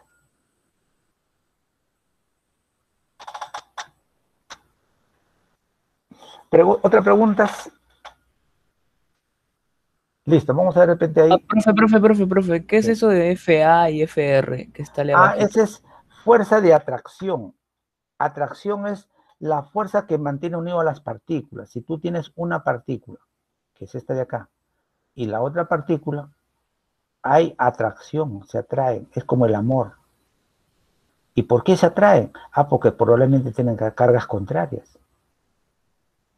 Pero también hay repulsión. ¿Por qué? Porque habrán ciertas zonas de igual carga. Entonces, hay fuerzas de atracción o cohesión. ¿Qué fuerzas? Puede ser enlace. Si es compuesto iónico, enlace iónico. Si es una molécula polar, puede haber puente hidrógeno o dipolo-dipolo. O puede haber fuerza de London. Depende. Esto veremos más adelante, la fuerza de atracción. Y hay fuerza de repulsión. ¿Por qué hay repulsión? Porque tendrán igual carga. Positivo, positivo, negativo. Va a haber repulsión. Y siempre existen estas dos fuerzas. Siempre está en todo. Están presentes. Es como el amor. Y lo contrario, el egoísmo. Siempre están estos dos. Usted dirá, si tiene una parejita, tiene tu parejita. Ahí está la tigresa. La tigresa con el tigrillo. Ahí están los dos, esta parejita. ¿Usted cree que solamente hay amor? No, también hay los dos. Lo que pasa cuando tú estás enamorado, no notas el otro. O en todo caso hay un equilibrio. Y todo felicidad. Pero basta que haya algún problemita, aumenta esto y baja el otro. Ahí sí se nota. Ahí sí hay ruptura. Algo así. Acá también hay atracción y hay repulsión. Acá prevalece la atracción. Acá están equilibrados, acá prevalece la repulsión. La atracción es menor. A ver, ¿está claro, jovencito? Sí, profesor. Sí, profesor. Ya, listo. A ver, uy, esto no, esto vamos a hacerlo con la otra forma. Esto lo hacemos con la otra forma porque está resuelto ahí.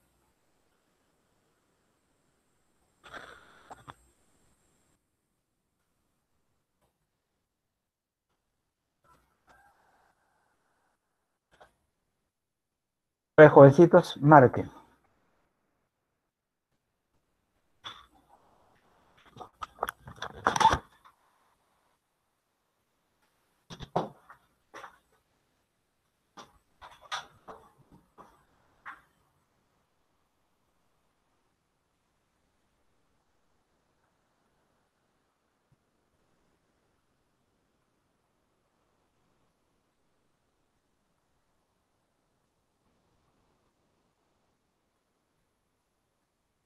Profesor, la D creo.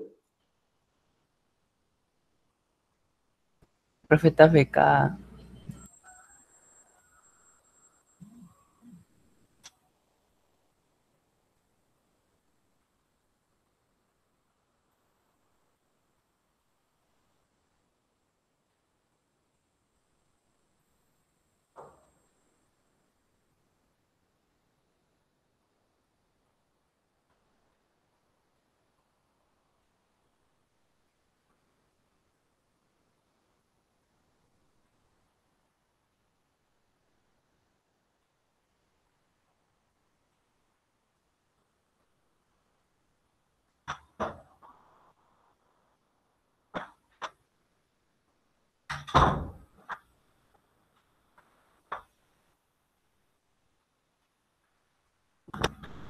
A ver, respuesta, Tigres.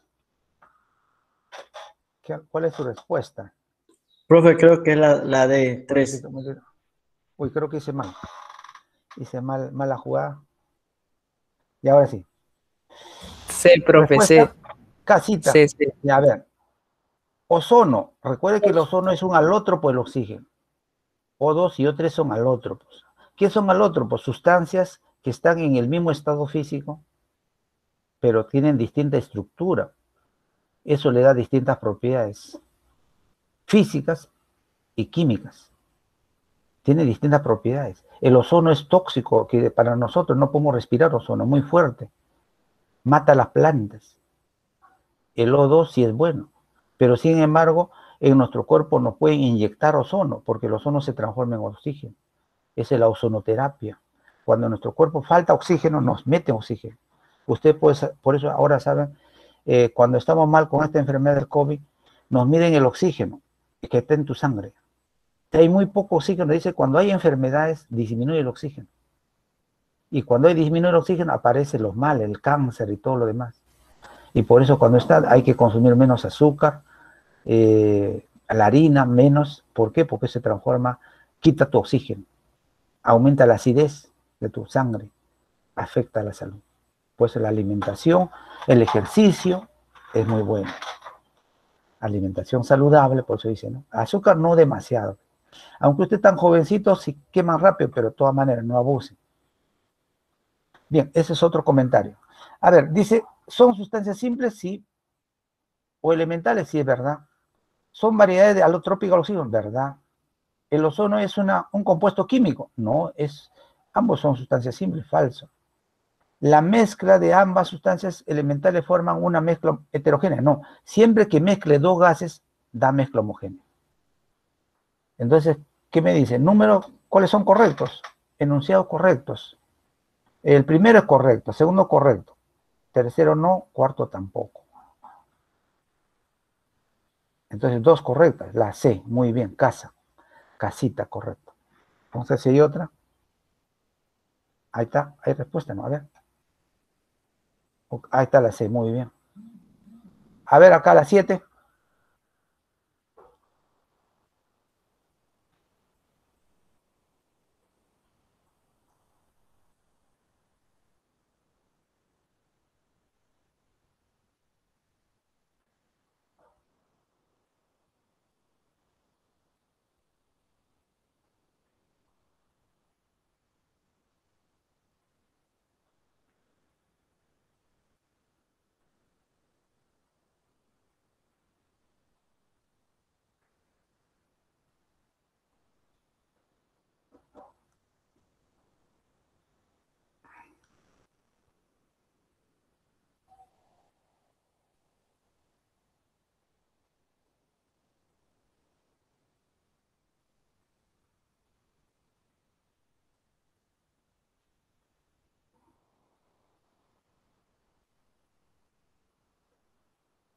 A ver, respuesta Tigres, ¿cuál es? Dado, profe. Dedo. Ya, muy bien. A ver, alternativa correcta, la correcta quiero ver. Eh, bueno, la correcta, a ver, la correcta. Acá hay un lapicito también. La sublimación es un cambio de fase de sólido a fase líquida. No, sublimación es de sólido a gas, ¿no? Creo que no. Todos saben eso. ¿No? La vaporización es el cambio de fase sólida a vapor, ¿no? Mm, aunque algunos también sí lo dicen, ¿ah? Hay algunos textos que vaporización pasan de líquido a, a vapor o de sólido a vapor, vaporización. Esto tengo mis dudas, ahí lo dejamos. La condensación es el paso de fase líquida a la fase sólida. Eso sí, completamente falso. La condensación es de la fase vapor a fase líquida.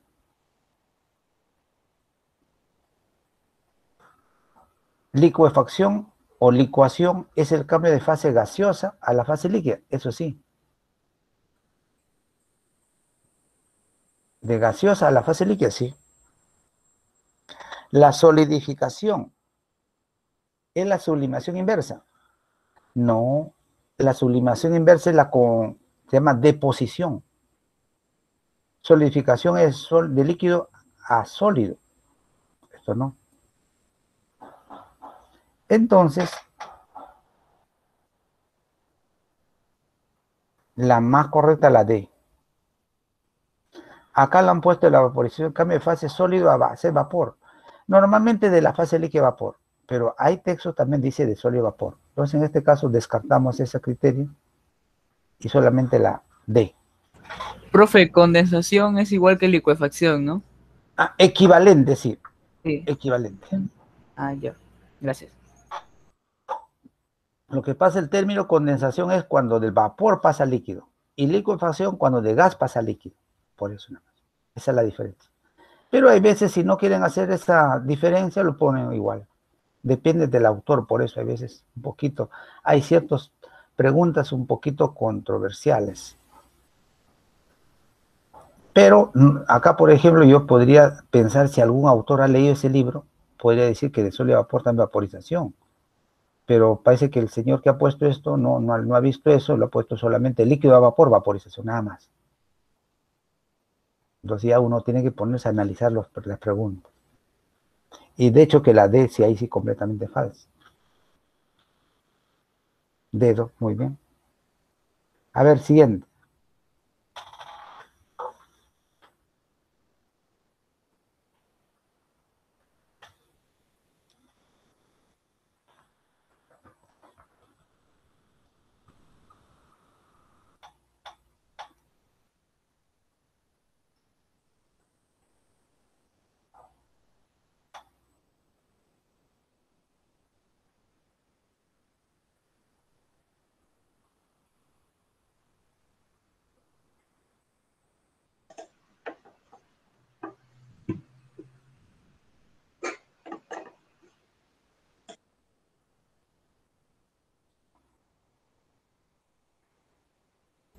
Profe, es el mismo problema, creo.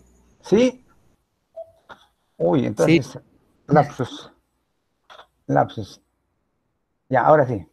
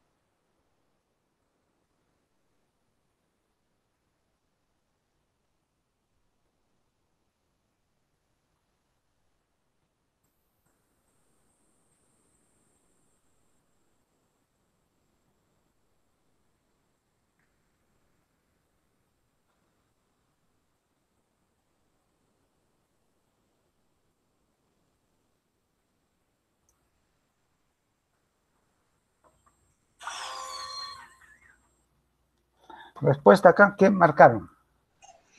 Señale la alternativa que contiene una mezcla heterogénea, dice. Ah, profe, A. Anita, solución y una sustancia desorden. A ver, mezcla hetero, muy bien el granito hetero. Granito hetero. Solución, cuando habla de solución, se refieren a la mezcla homogénea. Solución o disolución es la mezcla homogénea. Agua dura es Mm, el agua dura, ¿qué es? Ah, es agua más calcio, magnesio. Es como nuestra agua de caño es una agua dura. Esa es eh, solución, sí, porque el agua potable es, este, es homogéneo, ¿verdad? El agua pesada es un compuesto, ¿sí? Porque acá D de deuterio conocía, agua pesada. Entonces no con una agua dura de agua pesada. Agua dura es una mezcla que tiene agua, mayones, calcio, magnesio. En cambio, agua pesada es un compuesto, deuterio con oxígeno. En vez de hidrógeno, esto es isótopo del hidrógeno, deuterio. Esta es sustancia, sí, un compuesto. Agua residual, no, esto no es una mezcla, mezcla. Heterogénea podría ser, sí, pero el agua potable es una solución, sí, también. Pero acá agua regia es una mm, sustancia, no, porque esta es una mezcla. Agua regia es ácido clorhídrico más ácido nítrico. Esa mezcla de clorhídrico más nítrico, mezcla homogénea, es ácido agua regia. Sirve para disolver al oro, el agua regia mezcla de ácido clorhídrico con ácido nítrico. Granito es hetero, sí. El bronce es homo, sí. Una aleación. Agua oxigenada es mezcla homogénea. No es una sustancia. El agua oxigenada es H2O2, llamado peróxido de hidrógeno, más agua. es una mezcla homogénea. Leche es hetero, sí. Aire es homo, sí. O solución. Petróleo es una mezcla. Este mezcla, no. Tiene que ser sustancia. Gasolina mezcla homogénea, falso. Benzina es mezcla et homogénea, sí. Ozono es elemento, sustancia, sí. Pero es falso por la primera. Anita, correcto. La 10, a ver. Sí. Entonces, todas las aguas, excepto del H2O, eh, serían... El H2O es agua destilada, ¿cierto? No, la destilada también lo consideramos como heterogénea, mezcla homogénea. Y entonces... Cuando diga agua, es una sustancia, solamente cuando dice agua. Ah, y todas las otras aguas, regia, dura, todo es mezcla eh, homogénea. Ah, no toda, a ver, ¿qué? Pero si te dice agua de río, no. No toda, ah, agua de río sería heterogénea. Mm, agua de mar también, por eso va a depender. Entonces, todas son mezclas. Son mezclas, pero no, eh, cuando dicen agua nada más a secas, esa es sustancia, compuesto. Ella. Gracias. Ya, listo. A ver el siguiente, el 10. Profe, sí las mezclas son eh, como la mezcla de sustancias, ¿no? Es reunión de dos o más sustancias, en ah, cualquier proporción. No tiene fórmula. Y esa mezcla puede ser homogénea o heterogénea. Listo, a ver, chequean esta pregunta.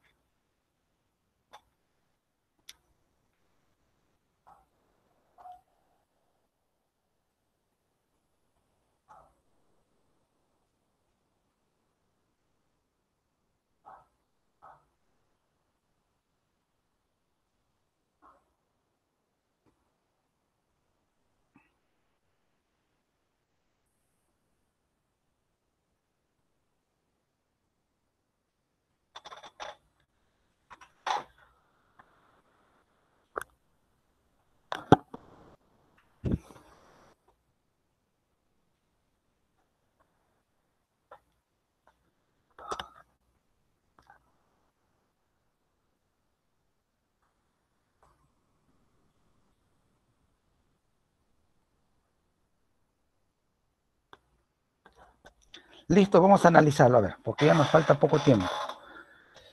En un laboratorio de química de la UNE se realizó el análisis de una muestra de calcita, un mineral de carbonato de calcio, con una masa de 27 gramos. Me hablan de masa.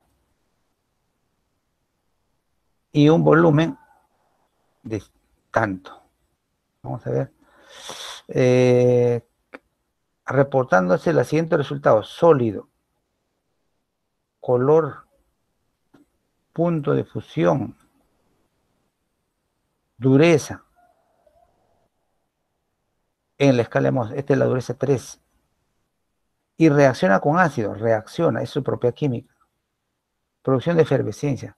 Respecto a estas propiedades resaltadas, marque lo correcto. Hay cinco propiedades físicas. ¿cuáles son las propiedades físicas?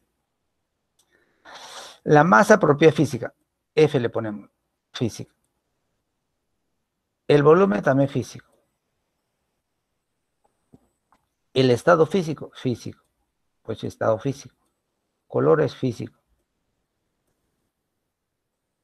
Punto de fusión o punto de fusión físico. Dureza físico. Reacciones, reactividad química. Entonces, ¿cuántos físicos hay? A ver, uno, dos, tres, cuatro, cinco, seis físicos. Y un químico. Cinco, ese marco correcto no es correcto, falso. Porque acá dice cinco propiedades físicas. Hay seis propiedades intensivas. Ah, intensiva. Esta la más es física, pero es extensiva. Extensiva. El volumen es físico, pero también es extensivo, depende de la cantidad. Aditivo. El estado físico es físico, pero intensivo. El color es físico, también es intensivo. El punto de fusión es físico e intensivo, igual que el punto de ebullición. Eh, dureza, físico, intensivo. Todo o una porción tiene la misma dureza. Reacciona, es química, y toda la química lo consideramos intensiva. Intensiva eso. Hay seis propiedades intensivas. Intensivas, a ver, mm, por acá, uno, dos, tres, cuatro, cinco intensivas. Acá dice seis, descartado, falso. Seis propiedades físicas. Hay físicas. Una, dos, tres, cuatro, cinco, seis propiedades físicas. Sí, eso está bien. Una propiedad química. Sí, también está bien. Esta es la verdad. Todas las propiedades son intensivas. No, hay extensivas también. Hay dos propiedades extensivas. A ver, las extensivas son volumen y masa, sí. Y luego dice cinco propiedades físicas intensivas. Cinco físicas intensivas. Física intensiva va uno, van dos, van tres, van cuatro nada más. Falso también. Respuesta, casa, ¿no? Pregunta, jóvenes, ¿está bien eso?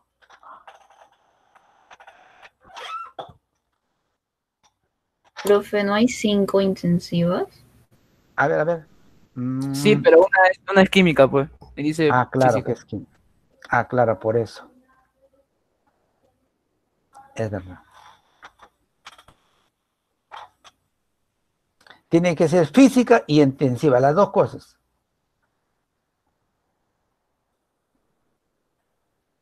Una pregunta, profesor. El sólido, sólido sería intensivo, ¿no? Porque, bueno, no entendimos. Es, es el estado físico, claro. El estado físico es el intensivo, sí. Físico intensivo.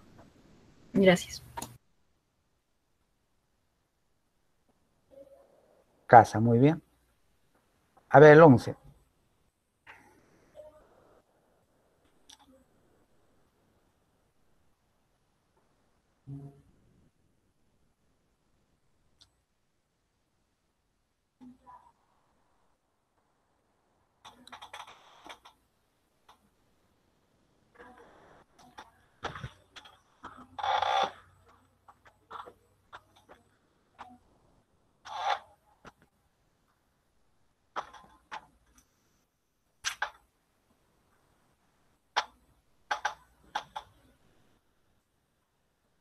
A ver, resolvemos. Respecto a la clasificación de la materia, indique la incorrecta. La materia es todo aquello que posee masa y volumen. Eso es verdad. La materia y energía se relacionan con la expresión. Es de verdura la ecuación de Einstein. La sustancia es la variedad de materia de composición constante, sí. Definida en variables, sí. Cuyas propiedades son independientes de su origen, verdura todos los elementos químicos se encuentran en la naturaleza bajo diferentes formas alotrópicas. Todo dice. Eso es falso. no todo. Los elementos químicos son variedad de materia que no se pueden descomponer en forma más simple. Claro, eso es verdad. Es dedo. ¿Preguntas, dedo? Preguntas a ver si hay dudas. Nada, dedo. 12.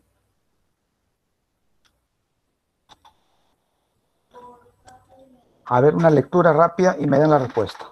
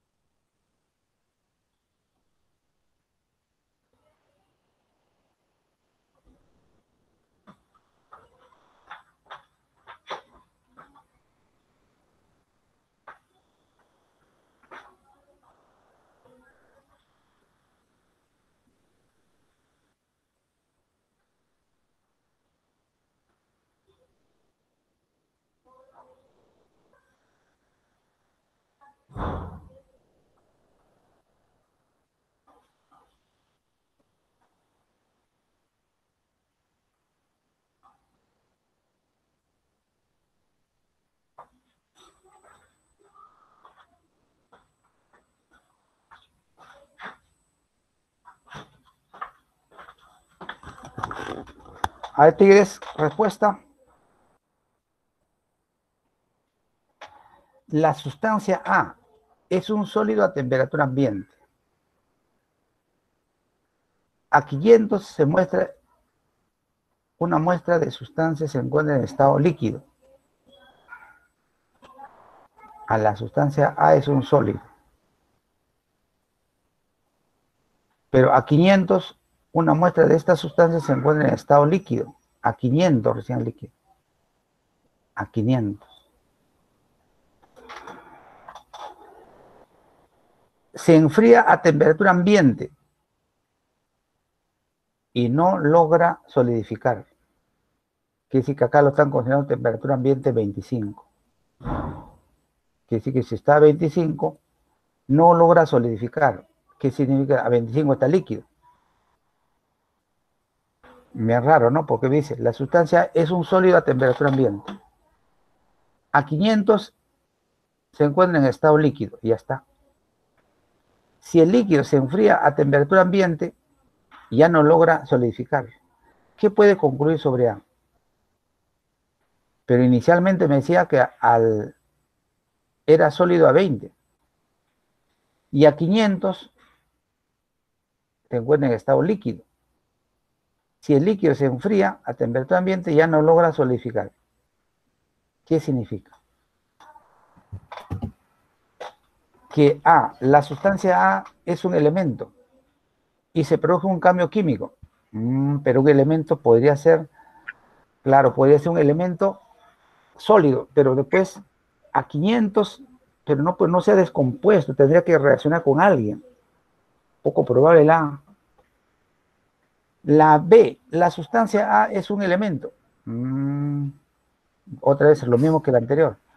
La C, la sustancia es un compuesto. Ahí sí puede ser. Claro que si la sustancia es un compuesto, está sólido, tú lo calientas, se descompone. Y luego, eh, cuando el enfrío ya no es líquido, ya no es sólido, porque ya se ya generó otra sustancia. Entonces, la C, la sustancia es un compuesto, sí puede ser y se produjo un cambio químico. Sí, puede ser también, este es mayor atino que puede ser la C. La de la sustancia compuesto, sí. Y se produjo un cambio físico. No, pero no puede ser cambio físico, debe ser químico. La sustancia es una mezcla homogénea. Mm, Pero luego si es mezcla, no, creo, creo que no encaja acá. Más encaja la C. ¿Qué opinan? A ver, ustedes. Sí, profe. Sí, sí. Correcto. Eh, no entiendo muy bien por qué tendría que ser necesariamente compuesto y no elemento. Porque el elemento mm, no tendría que descomponerse en otro, ya no se puede, salvo que reacciona con otra sustancia, pero no me dan indicio de eso. Podría ser elemento, pero más me inclino que sea un compuesto, que al descomponerse ya genera sustancias elementales o compuestos, pero ya con diferentes propiedades, por eso. Gracias, profe. Ya. A ver, 13.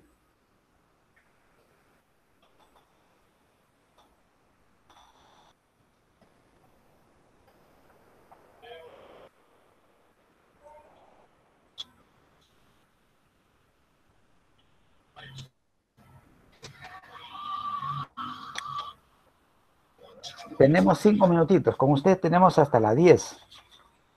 De ahí tenemos una pausa de 20 minutos. Y ahí tendrán ya otro curso. Yo lo despido a las 10 y 20. Mañana igual, nuestra clase de 7 y media a 10. Por favor, 7 y media en punto. Puntualmente como soldados. Traten de entrar antes, 5 para, para la hora, 10 para...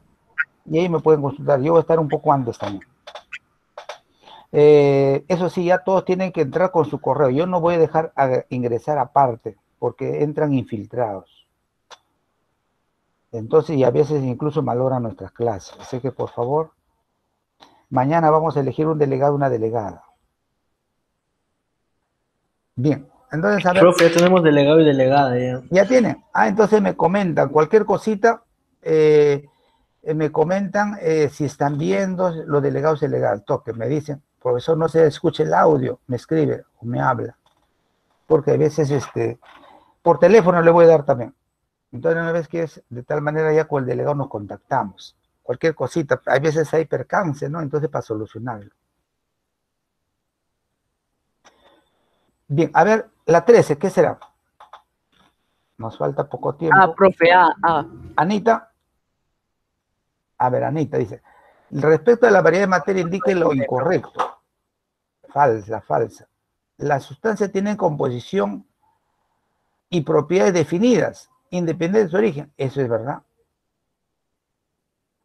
El gas natural es una mezcla. Heterogénea, no, generalmente homogénea, porque mezcla gases. Ah, aunque yo pensé que era la A porque yo pensé que era la A porque dije las sustancias simples también tienen composición. Ah, ya, ya, ya, un momentito, las sustancias tienen, es que cuando habla de sustancias, en general te hablan, puede ser simple o compuesta, las dos tienen que cumplir. ¿Tiene composición? Sí. ¿Y propiedades definidas? Sí, tiene propiedades definidas. ¿Independiente de su origen? Sí. Eso es verdad. El gas natural es una mezcla heterogénea. Claro, porque también el gas natural depende. Si tú lo encuentras así como está, es gas. Pero yo, pues, este yo lo diría falso homogénea, mayormente gas natural. Salvo que tú tengas gas y algo que está líquido, que sea licuado, entonces también le dicen gas natural. Acá hay una duda.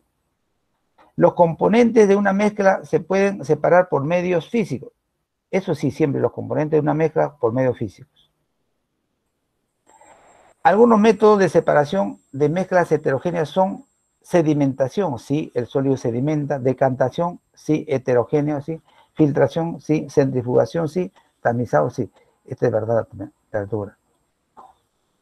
Los compuestos tienen composición definida. Mm, claro, sí. Y pueden descomponerse por medios químicos. Sí, esa es verdad. Por lo tanto, ¿cuál es?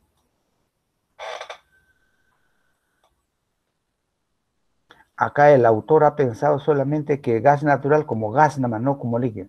Mezcla heterogénea, no, es mezcla homogénea. Lo he puesto así.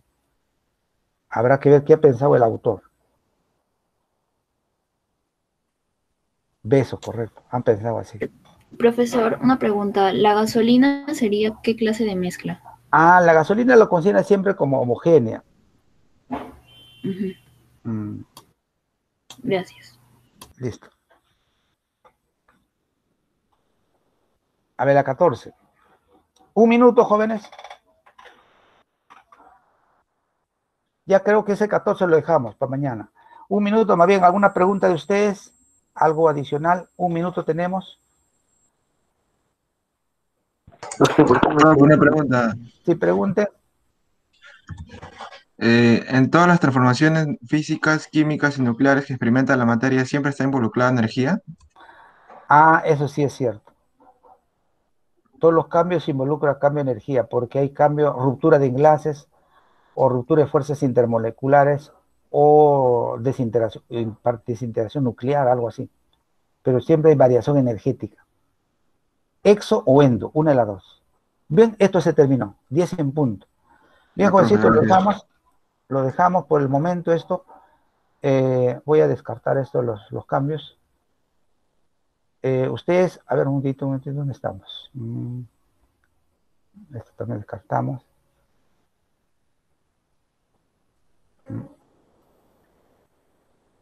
Mm. Ahí está. Voy a dejar de grabar. Detener, no. Tengo que suspender. Eh, detener la grabación, sí.